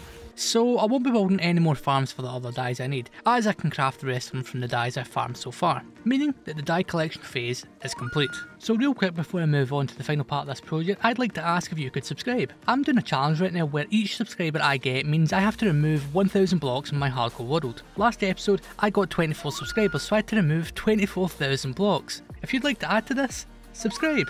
So moving on, I think I should get all the farms I built today running, generating all the dyes needed for the wool farm. First, I need to go around all the flower farms, adding a storage system to each. I'm just going with a basic storage system for now. Then, all I need to do is fill each farm with bone meal, meaning I can turn the farms on. Speaking of storage systems, the wool farm I'm going to build will need a huge one. I want it to be colourful, so I'll use some of the dyes I just collected along with these sheep to make up a bunch of different colours of oh, wool. That and all these resources I've collected. Back over in the Flower Forest, I need to find a place to build this. I'm going to be terraforming this entire area, so I think I'll build this storage system over here, underground. The idea is that this would eventually be on the surface. Now, Let's get this built. This storage system is quite simple. All I've done is set up a storage silo for each of the wool colours. These silos have item filters in the back allowing for only one wool colour per silo. After getting all those in place, I configured the filters and added the last decorative details. Now, you can clearly see where each wool colour will be stored. I also went ahead and added a switch for the wool farm. I'll connect this up to the wool farm once it's built. I also added a door below which I'll use to access the rest of the farms. On the other end of the hallway, I have another door. This will lead out to the surface later, but for now, it will remain underground. So then after doing all that prep work, I can finally start building this wool farm. For this, I'm going to be going with the wool farm design I built back at the starter base, but it will be a lot larger. I'll be placing part of this underground, so I'll need to start clearing space for it. I planned all this out prior to recording this episode, now that I think about it, I could have made this smaller. Either way, this farm will suit my needs. After removing a few thousand blocks, the space needed for this farm is ready. Getting this farm up and running is going to take a bit of time. First, I'll need to build the farm using these resources I've gathered. I'll also need a lot of sheep. I'm going with 64 sheep per wool colour, which means I'll need 1024 sheep. Now here's the thing, I've already been working on getting all the sheep. If I go behind this wall, you'll see I already have a bunch of sheep here. I caught some from the flower forest above a while back and brought them down here to start breeding. Now, let's start building this farm. The size of this farm is insane. I've never farmed this many sheep at once before. As I've used this design before, building it was fairly straightforward. When it came to getting the sheep in place, I moved them out of the breeding area one at a time and got them positioned in the farm. Then I dyed them to whatever colour I needed. After getting them all in place for this section, I started building the next. I got faster and faster with each layer. I also had a few YouTube videos playing in the background while working on this, which helped speed this up. After no time at all, the farm was complete. After finishing the farm, I went ahead and connected the farm redstone to the activation circuit in the storage room. That and I placed an item stream allowing for the wool to be transported to the storage area. Now, before I turn this thing on, I need to go through the entire system filling it with shields. Good thing I have an iron farm. With that done, I could turn this on, producing lots of wool. Now I've just had a look at the time I have remaining for this project and it's only 10 days, so let's make this area look nice. For this build, I'm making use of some extra materials I had lying around from when I did the Ocean Monument transformation. I wanted this build to be circular but also blend into the terrain, hence why I'm doing a lot of terraforming. I also wanted it to stand out, hence why I'm using lots of bright colours. And with the last day coming to an end, I've finished this insane project. So farming geodes gives you access to all these blocks, but I haven't built a farm for it yet. So let's build an insane geode factory. For this to work, I'm going to need to find a geode. If my memory is correct, I should have one down in my mines. I last used this to farm amethysts which I then used in a spyglass over a year ago. Ah, here it is. I could just AFK and harvest it manually, but that's a bit boring, so let's build a farm. This geode won't work for my needs as I don't want to build a farm in this area. I have another geode over at the wool farm but it won't work either. So how do you find the perfect geode? It's simple, you use an external tool. Now I could have just used Chunkbase for this, as it shows you where each geode is in the world. This is all the geodes that spawn in my world. For what I have planned, this won't work. I'm going to be using the Geode AFK Spot Finder tool by Russell Sprouts. This searches through your world looking for the perfect spot to AFK with as many geodes in range as possible. If I go to these coordinates, I will have 790 budding amethysts within range of my AFK spot. Now, I just need to get out there. Looks like we have an ocean at these coordinates. Hopefully this doesn't slow me down. So I'm going to use this stone pillar to mark out where the AFK spot will be. I'll be doing a large build here later. Plus, this will also allow me to set up a ladder so that I can get under the ocean to access the geodes. After digging around for a bit, I found my first geode in the area. I'm going to place a few torches stopping any hostile mobs from spawning. Then I'm placing this sign. I'm going to give each geode I find a number. This is because each geode is unique, meaning that I have to build a custom farm for each of them. To simplify this, I'm numbering each geode then I'm copying it into a creative world. That way I can easily design the farms. With this first geode being found, let's locate the rest. I went ahead and dug a tunnel out to all the other geodes. I lit them up and gave each of them a number. After doing all of that, I've ended up with all of these geodes in my creative world. I've ended up with 16 geodes, each having a unique layout.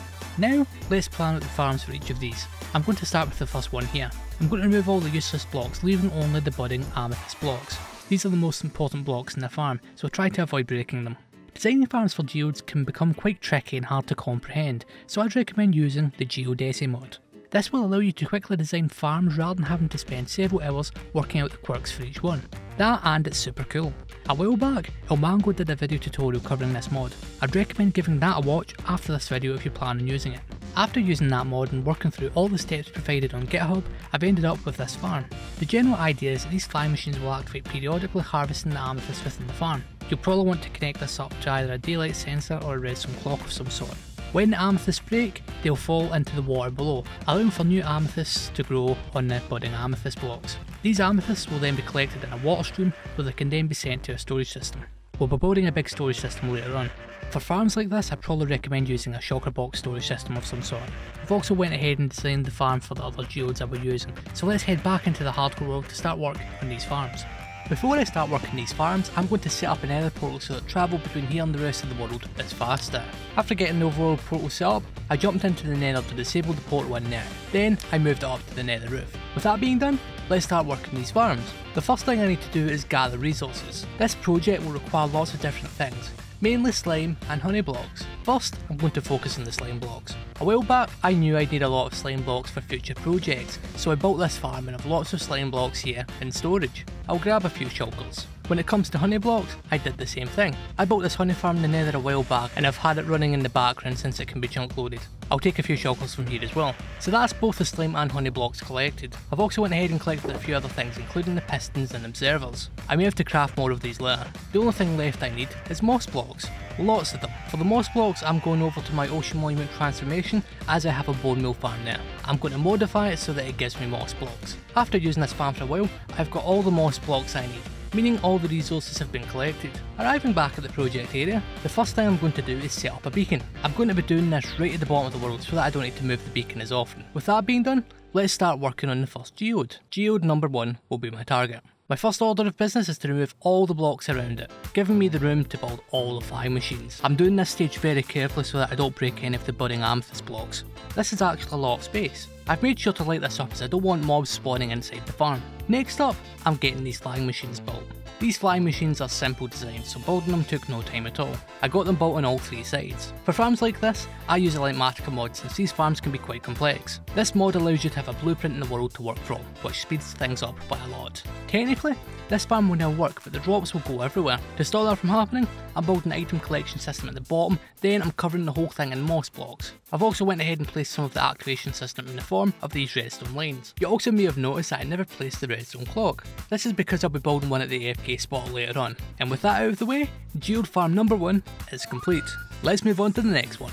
Before I move on to the next geode, I'm going into the nether so that I can use the gold farm to repair my gear. Let's just say I'll have to use this a lot for the rest of this project. So the second geode I'd like to build a farm for is a bit different to the one I just completed. This geode is far smaller, meaning that it should be faster to build. There's also quite a bit of water on top which will get in the way. This should be easy enough to deal with. I'll simply wall off part of it and use sponges. With that out of the way, let's start working on this farm. For this one, I'm changing the way I go about starting this by first digging out the borders of the farm. I'm also not clearing out the space that I won't have anything in as it just wastes time. When it comes to building the farm, it's fairly straightforward. I simply go layer by layer double checking everything as I go. I'm also lighting this thing up as having a creeper blow up here wouldn't be ideal. Now, Geode Farm 2 is complete. I'll be connecting this farm to the activation system later on. If I go down this tunnel, I'll end up at Geode 3. This one is a similar size to the first one. Once again, there's quite a bit of water in the area so I dealt with that first. Sponges were very useful here. Now, I can build this farm. Mining this one out was surprisingly quick. It must be my new mining method. After I mined out the initial border, I removed all the amethyst blocks within the geode, allowing for the budding amethyst to be free to minimise the risk of breaking them. After that, I quickly started building the remainder of the farm, getting it all finished super quick. I am kind of tempted to activate the farms I've built so far since they're all fully grown, but I won't. It just means that the first harvest I do when everything is finished will be huge. Anyway, that's Geode Farm 3 complete. Geode 4, which is just down this ladder, is the first one that doesn't have any water or open caves connected to it. Let's build this one quick. With this geode not having any obstructions, I had the whole thing finished in only 30 minutes. I suppose the YouTube playlist I was watching helped speed this up. With that done, Geode Farm 4 is complete. So for the rest of the geodes I have in this area, I need to do things a bit different. Some of them are close together which could cause problems. If they're too close, I'll only be able to farm one of them. Here is an example of two geodes that might be a problem. Since I've already designed a farm for both of these, I'm going to load up the farm schematic using Litematica to see if there will be any issues. Looks like these farms overlap, meaning that only one of them can be built. I'll be building the farm for the larger geode. What I'll do is I'll try to keep the other geode untouched as every so often I'll need to silk touch the amethyst, so I'll use this geode for that. Since that'll be the case, I'm still going to clear out a small room around it. That way, all the amethysts can grow. With that out of the way, Geode Farm 5 is complete. I have another geode relatively close by. It's one of those larger ones. Looking at the schematic, this should just about fit. When I was building this one, I quickly discovered that it was closer to the other geode than I thought. This farm overlaps the previous one by one block. What I'm going to do to save me a bit of time is I'm going to make a few minor changes to the previous farm, that way this one will still work. After finishing that farm, I did a quick geode count and it turns out that I'm about halfway through the geodes in this area. I have two other geodes down here which I'm quickly going to build farms for each of them, taking me to the halfway mark. After getting all of that done, I went ahead and built the remainder of the geode farms in this area. Since they're all virtually identical apart from the amethyst bud placement and the flying machines, I built them all off camera. There were a few geodes here and there that I didn't use since they were close together, meaning that the farm couldn't be built. I may come back to this area in the future to build a few smaller versions of these farms. Now, I'd like to start finishing this project. First, I'm going to spend quite a bit of time going around lighting up all of these caves. I typically play with full bright on as it makes the video easier to watch on YouTube. That means that sometimes I forget to light things up. I actually ended up turning hostile mob rendering off during the time lapses due to that mistake. With that done, this entire area should now be mob free. There may be one or two hostile mobs still in the area, but that doesn't matter. I did all of this to slightly reduce the lag of this place. Moving on, I need to connect all these farms together. Currently, they're all independent, meaning that they won't function as one. Let's change that. First, I need an activation system. For this, I'll be using a hopper clock. Back when I was designing these farms, I ended up with this hopper clock which will run every 3 hours, which is the perfect amount of time to let the amethyst grow. Building one for every farm doesn't make sense, so I'll just build one of them and then I'll connect it to the rest using redstone. I plan on doing a large build above the water soon, so I'll build the hopper clock up here. I got this clock built super quick and I also built an area where I will stand while using this farm. Now, all I need to do is fill the clock with the items, meaning that it's good to go. Now, all I need to do is connect it to the farms below. Connecting the farms is a simple process.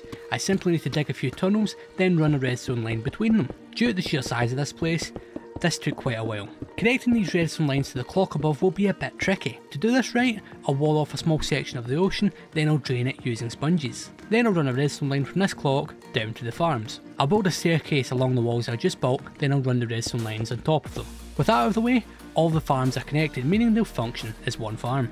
Currently, if I activate these farms, all the amethysts harvested will be destroyed since I don't have a collection system. Let's build one so that I can test this entire thing. First, I'm going to build a few shulker loaders up here close to the redstone clock. I've used this shulker loader design several times in the world so far. It's simple and easy to use. Now I need to work on storing these shulkers once they're full of amethysts. I think I'm going to have this storage room connected to my AFK spot. This storage room is nothing special. It is a simple wall of chests that will be able to support me using this farm for thousands of days at a time. I'll never actually use it for that long. I also did some quick decorating using some blocks I had left over from the ocean monument interior giving me this cosy storage room.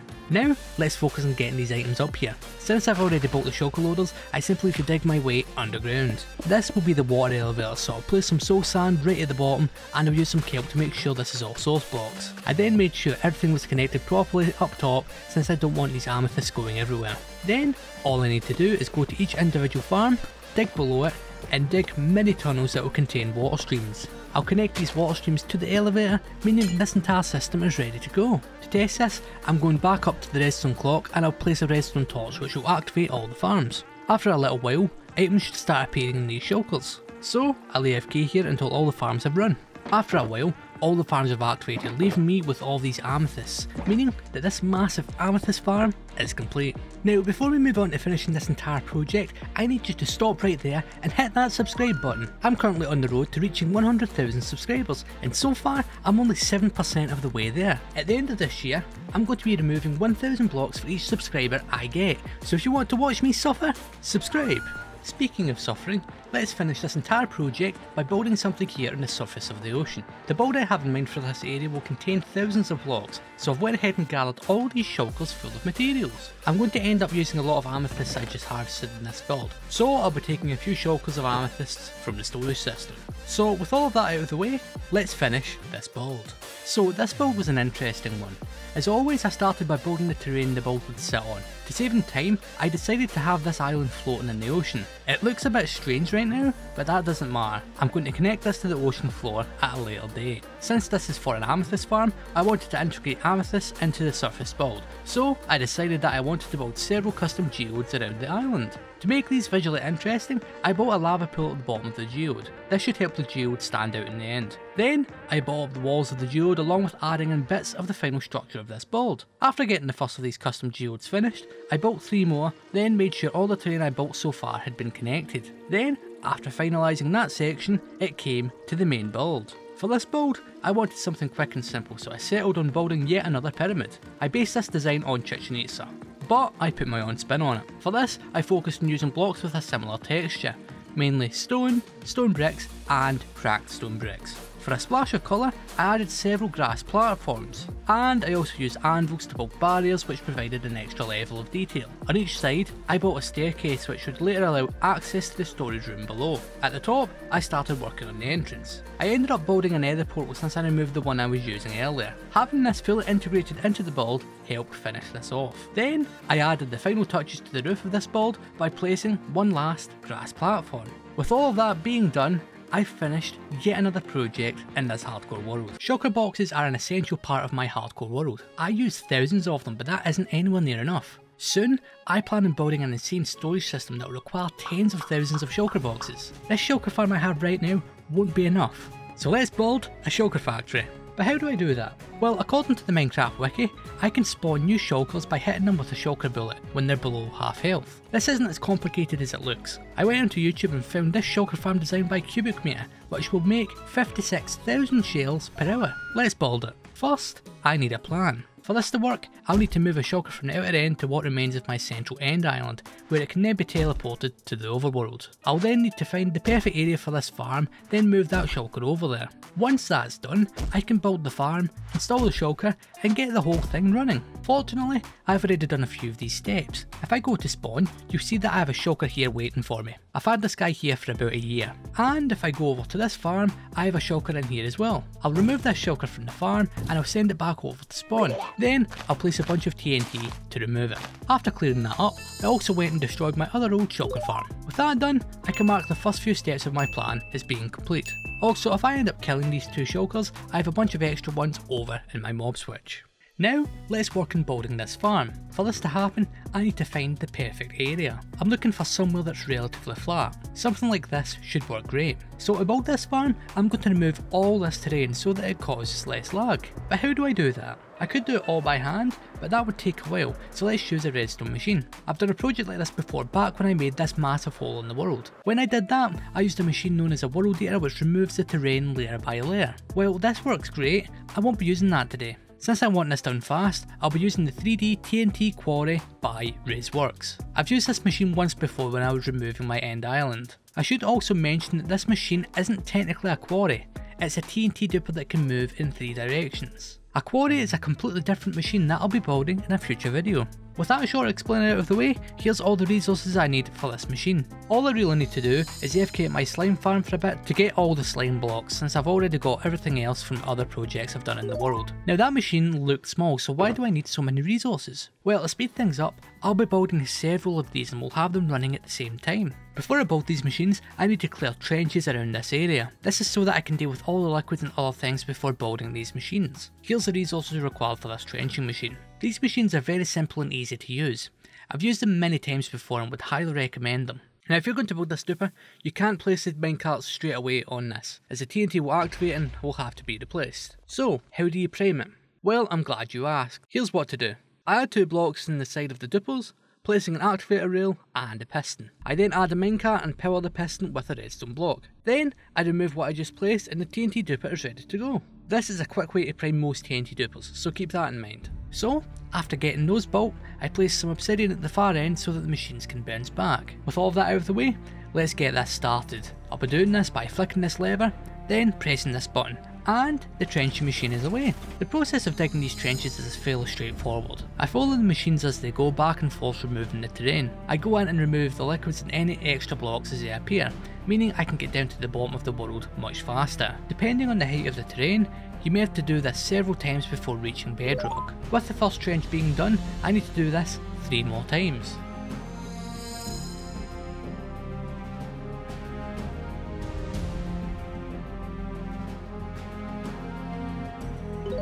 With those trenches being finished, I can build all of these 3D TNT dupers and the return stations on the opposite side. Every time these machines are activated, they'll move forward dropping TNT, and both the starting and return stations will move as well. So I'm going to activate all three of these machines, then I'll go and set up here in safety while the terrain is being removed.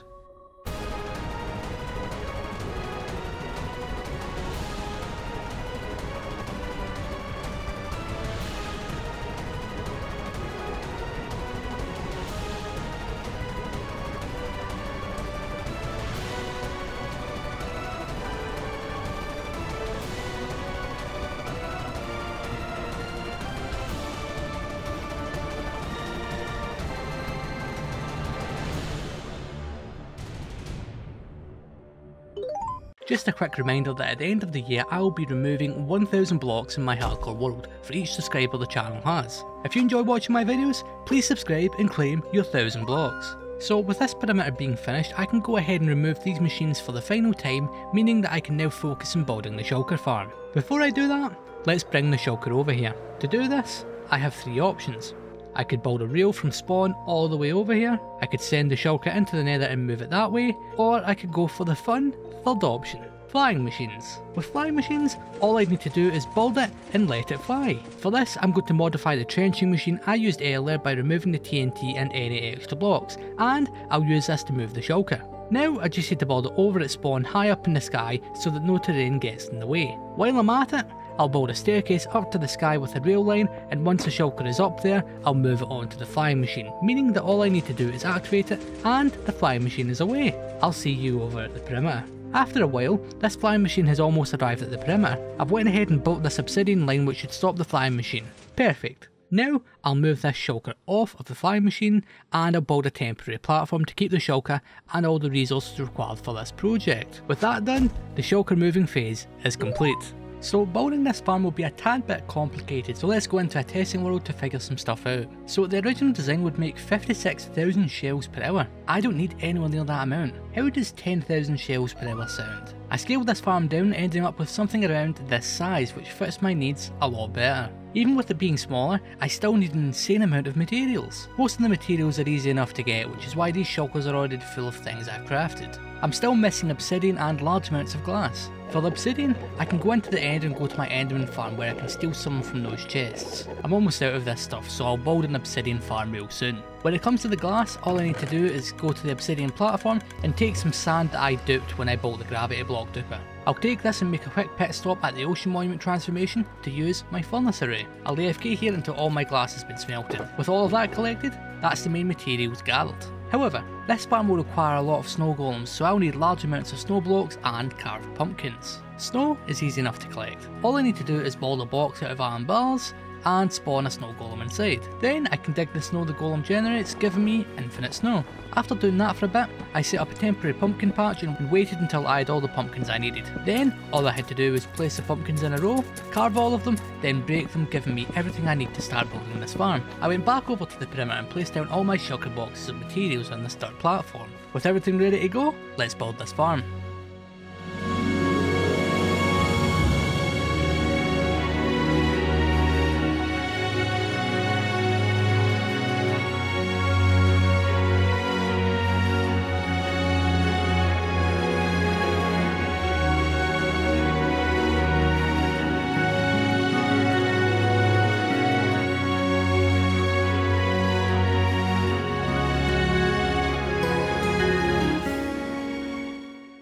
After finishing the shulker farm, I realised that I had made a huge mistake. This farm makes use of snow golems. One thing about snow golems is that they melt in warm biomes. One of those biomes being a savanna. Yeah, we built this farm right in the middle of one of those. So yeah, I freaked out for a little bit and thought this whole project was doomed. I spent a whole bunch of time looking up ways to avoid the snow golems melting and didn't really find much. I found an old Reddit post that said all I had to do was cover the snow golems with blocks and they should be fine. I even tested this within the perimeter and it worked. The only reason it worked was because I tested it in the part of the perimeter that was in the plains biome. So, Another mistake there on my part. Then, I realised that if I could give the snow golems the regeneration effect, it would allow them to survive for longer in warm biomes and that I wouldn't have to scrap this entire video. I experimented with this idea by using potions but they weren't good enough, so I went ahead and created a data pack that would give snow golems the regeneration effect constantly, meaning they wouldn't lose any health. So, crisis averted. Before I start using this farm, I should probably explain how this whole thing works. When I flick this lever, it will send a signal over here to this small shulker farm. Yeah, this mega shulker farm requires a smaller one to start up. Crazy, right? Anyway, once this is activated, it will spawn shulkers and they'll be moved down to this holding cell. These shulkers will then be taken from here in minecarts and distributed throughout the farm. Then, when the shulkers eventually die, a signal will be sent back and in the process, sending a replacement shulker. So it sounds simple enough. However, I can't turn it on right now as I haven't built the nether side of this farm. I'm going to be killing all the shulkers here in the nether, so the system on this side will be quite complex. Before I start building, I'm going to need to gather all the required blocks. I already have almost everything apart from the ancient debris. I'm going to need quite a bit of it as the ancient debris will be used in the shulker killing system. So, I guess I'm going to spend a few hours in the nether mining for ancient debris.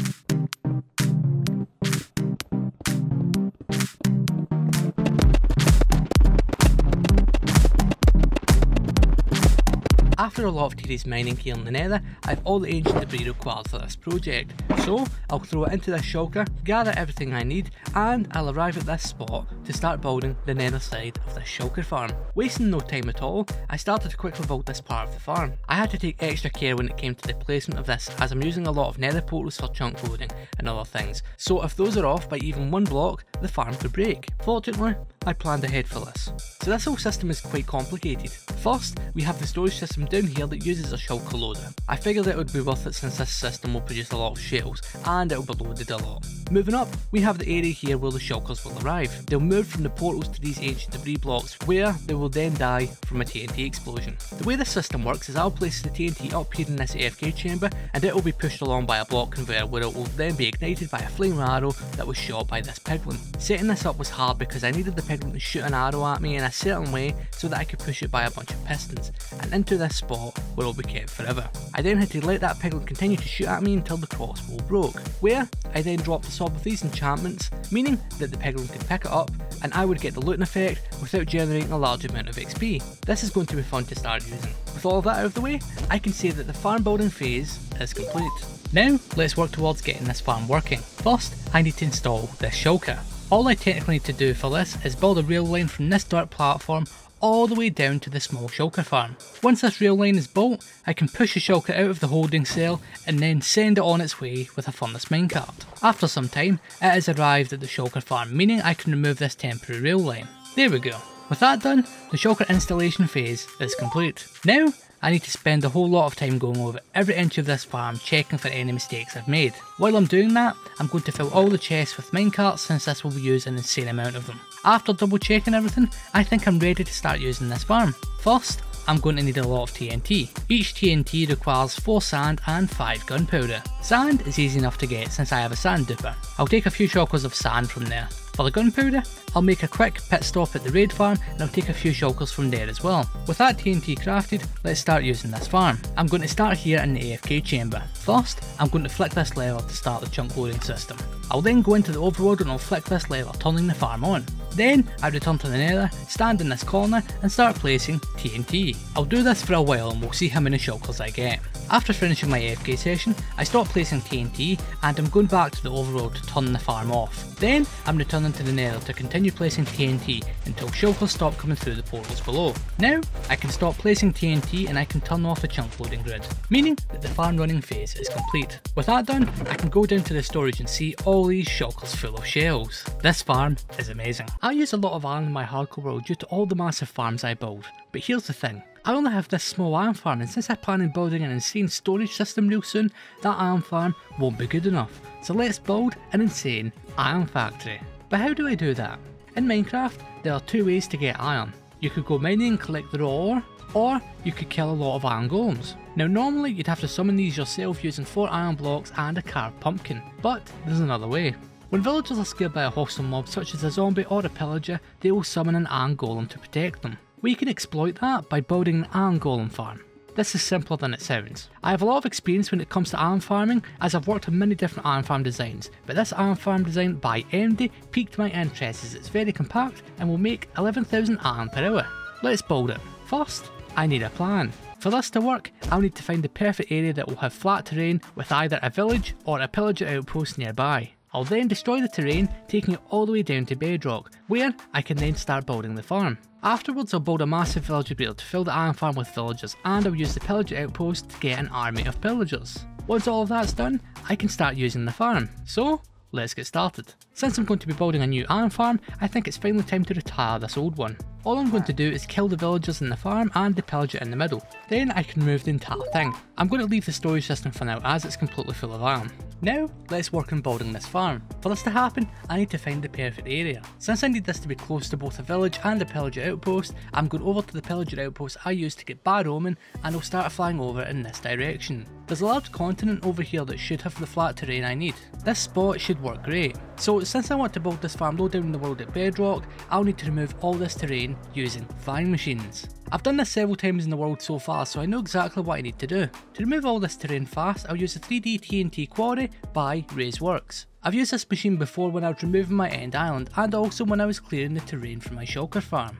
I should also mention that this machine isn't technically a quarry, it's a TNT duper that can move in three directions. A quarry is a completely different machine that I'll be building in a future video. Since I used this machine last episode, I already have all the resources required to build it. Before I build this machine, I need to clear the trenches for this area. This is so that I can deal with all the liquids and extra blocks, and so that I have the space in the hole for the machines when I need to rebuild them lower in the world. Here's the resources required for this trenching machine. These machines are very simple and easy to use. I've used them many times before and would highly recommend them. Now if you're going to build this duper, you can't place the minecarts straight away on this, as the TNT will activate and will have to be replaced. So, how do you prime it? Well, I'm glad you asked. Here's what to do. I add two blocks in the side of the dupers, placing an activator rail and a piston. I then add a minecart and power the piston with a redstone block. Then I remove what I just placed and the TNT duper is ready to go. This is a quick way to prime most TNT dupers, so keep that in mind. So after getting those built, I place some obsidian at the far end so that the machines can bounce back. To start them, all I need to do is flick this lever, then press this button, and the trenching machine is away. While this machine runs, I follow it and remove any extra blocks and liquids that could cause the machine to break. This machine is quite fast so I need to be careful as I don't want to be blown up. Since I'm actively removing liquids and other blocks, I can get down to the bottom of the world much faster since I don't need to stop and start the machine as often. Depending on the height of the terrain, you may have to build these several times to reach bedrock. With that first trench being done, I'm going to remove the machine and the obsidian so that I can do all of this three more times.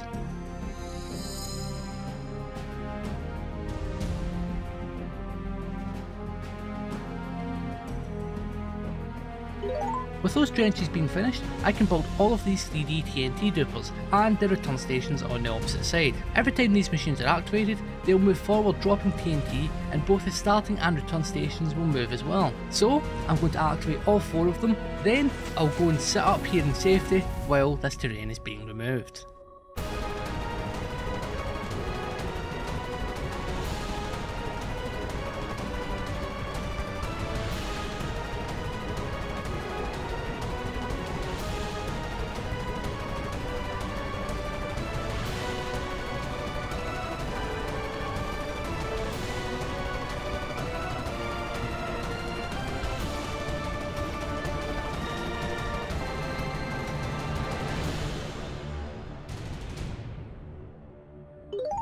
Just a quick reminder that at the end of the year I will be removing 1000 blocks in my hardcore world for each subscriber the channel has. If you enjoy watching my videos, please subscribe and claim your 1000 blocks. So with all that terrain removal being finished, the first few steps of my plan are complete. Now, I'm going to tidy this place up by removing these flying machines for the final time and then I'll remove any floating blocks that are left. There we go. Now I can focus on building the farm. First I'm going into a testing world as I'd like to make a few changes to the design. So the original design would make 11,000 iron per hour, but I'd like a lot more, so rather than building one of these farms, I'll be building 6, making 66,000 iron per hour. This does mean that the resource list for this will be huge. Fortunately, a lot of these materials are easy to get, which is why I already have a barrel here full of shulkers containing some of the items needed for this farm. There are several items which are a bit harder to get. These are slime blocks, smooth stone, oak leaves and white stained glass. For the slime blocks, I'm going to AFK my slime farm and after a quick crafting session, I have all the slime blocks I need. For the oak leaves, all I'm doing is growing a bunch of trees, then making use of some shears to harvest all the leaves I need. When it comes to the smooth stone, I'm going to take a few shulkers of cobblestone from the cobble farm, and I'll take this over to my ocean monument to use my furnace array. I'll send this through the system twice to make the smooth stone. Then, last of all, I have the white stained glass. For this, I'm going into the end and I'll take some sand from the sand duper storage system, and I'll take this over to the ocean monument to turn it into glass using the furnace array. Then I'll make a stop at my sheep and dye farm to turn it all into white stained glass. Then all I need to do is take all these items over to the perimeter where I've set up a temporary storage area. With all of the item collection out of the way, let's build this farm.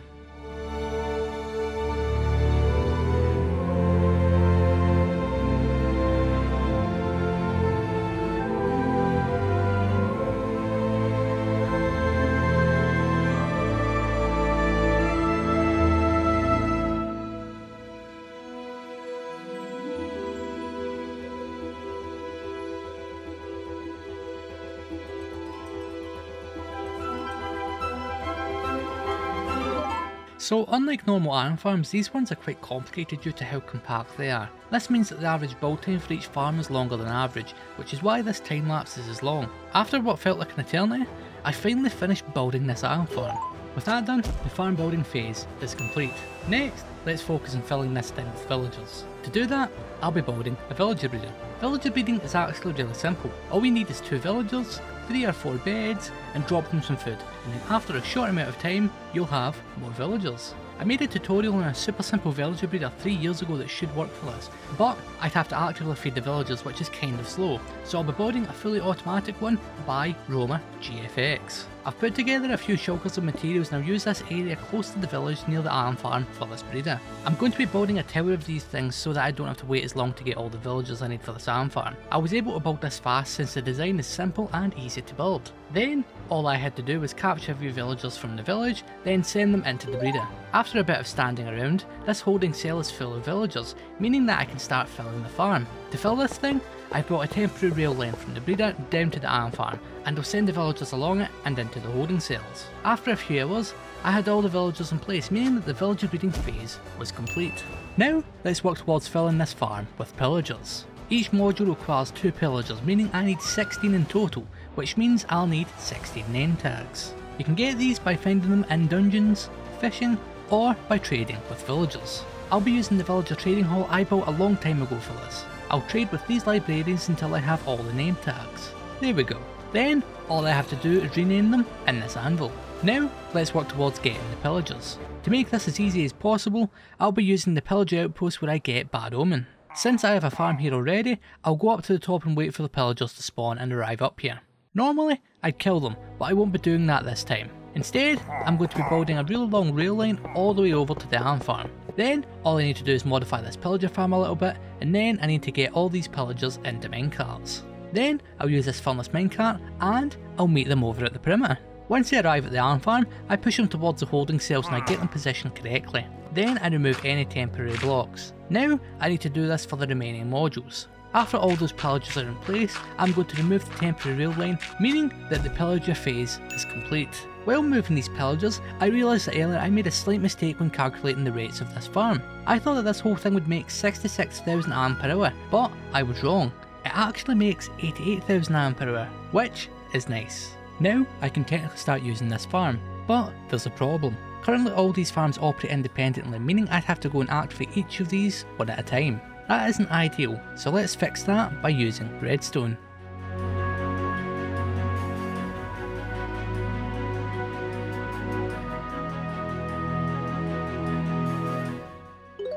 This redstone essentially makes each of these farms operate as if they were one farm, which simplifies the activation system. As you can see by these two redstone blocks, I haven't connected all the redstone. This is because these two redstone blocks are for two different systems in the farm. The one on the left is for the pillagers, and the one on the right is for the villagers. Even with that done, the system still isn't usable, so let's work on that. I'm going to take these lines of slime all the way up to the sky where I'll have the AFK spot and storage. Up here, I'm going to build a small glass platform and I'll connect all the redstone up to these note blocks. That way, all I need to do is right click on both to activate the farm. You'll notice when these redstone lamps activate. The redstone for this system is quite simple as you can see here. I never could have done all of this, but I wanted it to look cool, hence why I've used this activation system. I'm also going to build a copy of that activation system because in the future I plan on building a chunk loading grid here so that this is loaded when I'm not in the area. This system won't currently do anything, but it just means I won't have to modify this later. Next, let's work on the storage system. Since this farm will produce 88,000 AMP per hour, I'm going to need a lot of chests. So I went ahead and built a wall of chests on either side with hoppers feeding into them. Now for most farms a setup like this would be fine, but since this farm makes so many items, let's use shulkers. We can do this automatically using shulker loaders, which is what I'm building right now. I've left plenty of space so I may build more of these in the future when I expand the farm. Yeah, that's right, I plan on adding a lot more modules to the farm in the future, which is why this AFK chamber is so high up.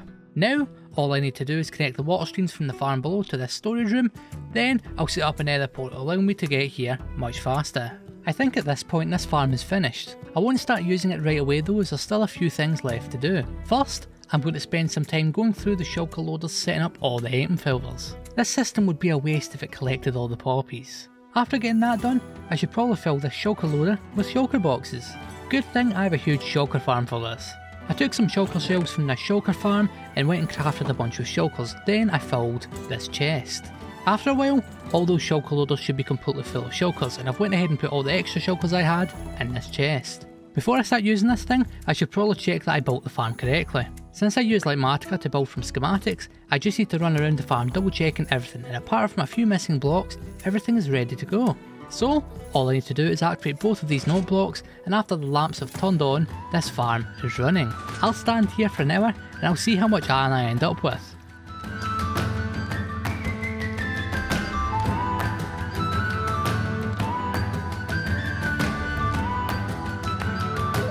With that hour being finished, I'm going to activate both of these note blocks again, turning the farm off. Now, when I look in these chests, you'll see all these shulkers full of iron, meaning this massive iron farm is working perfectly.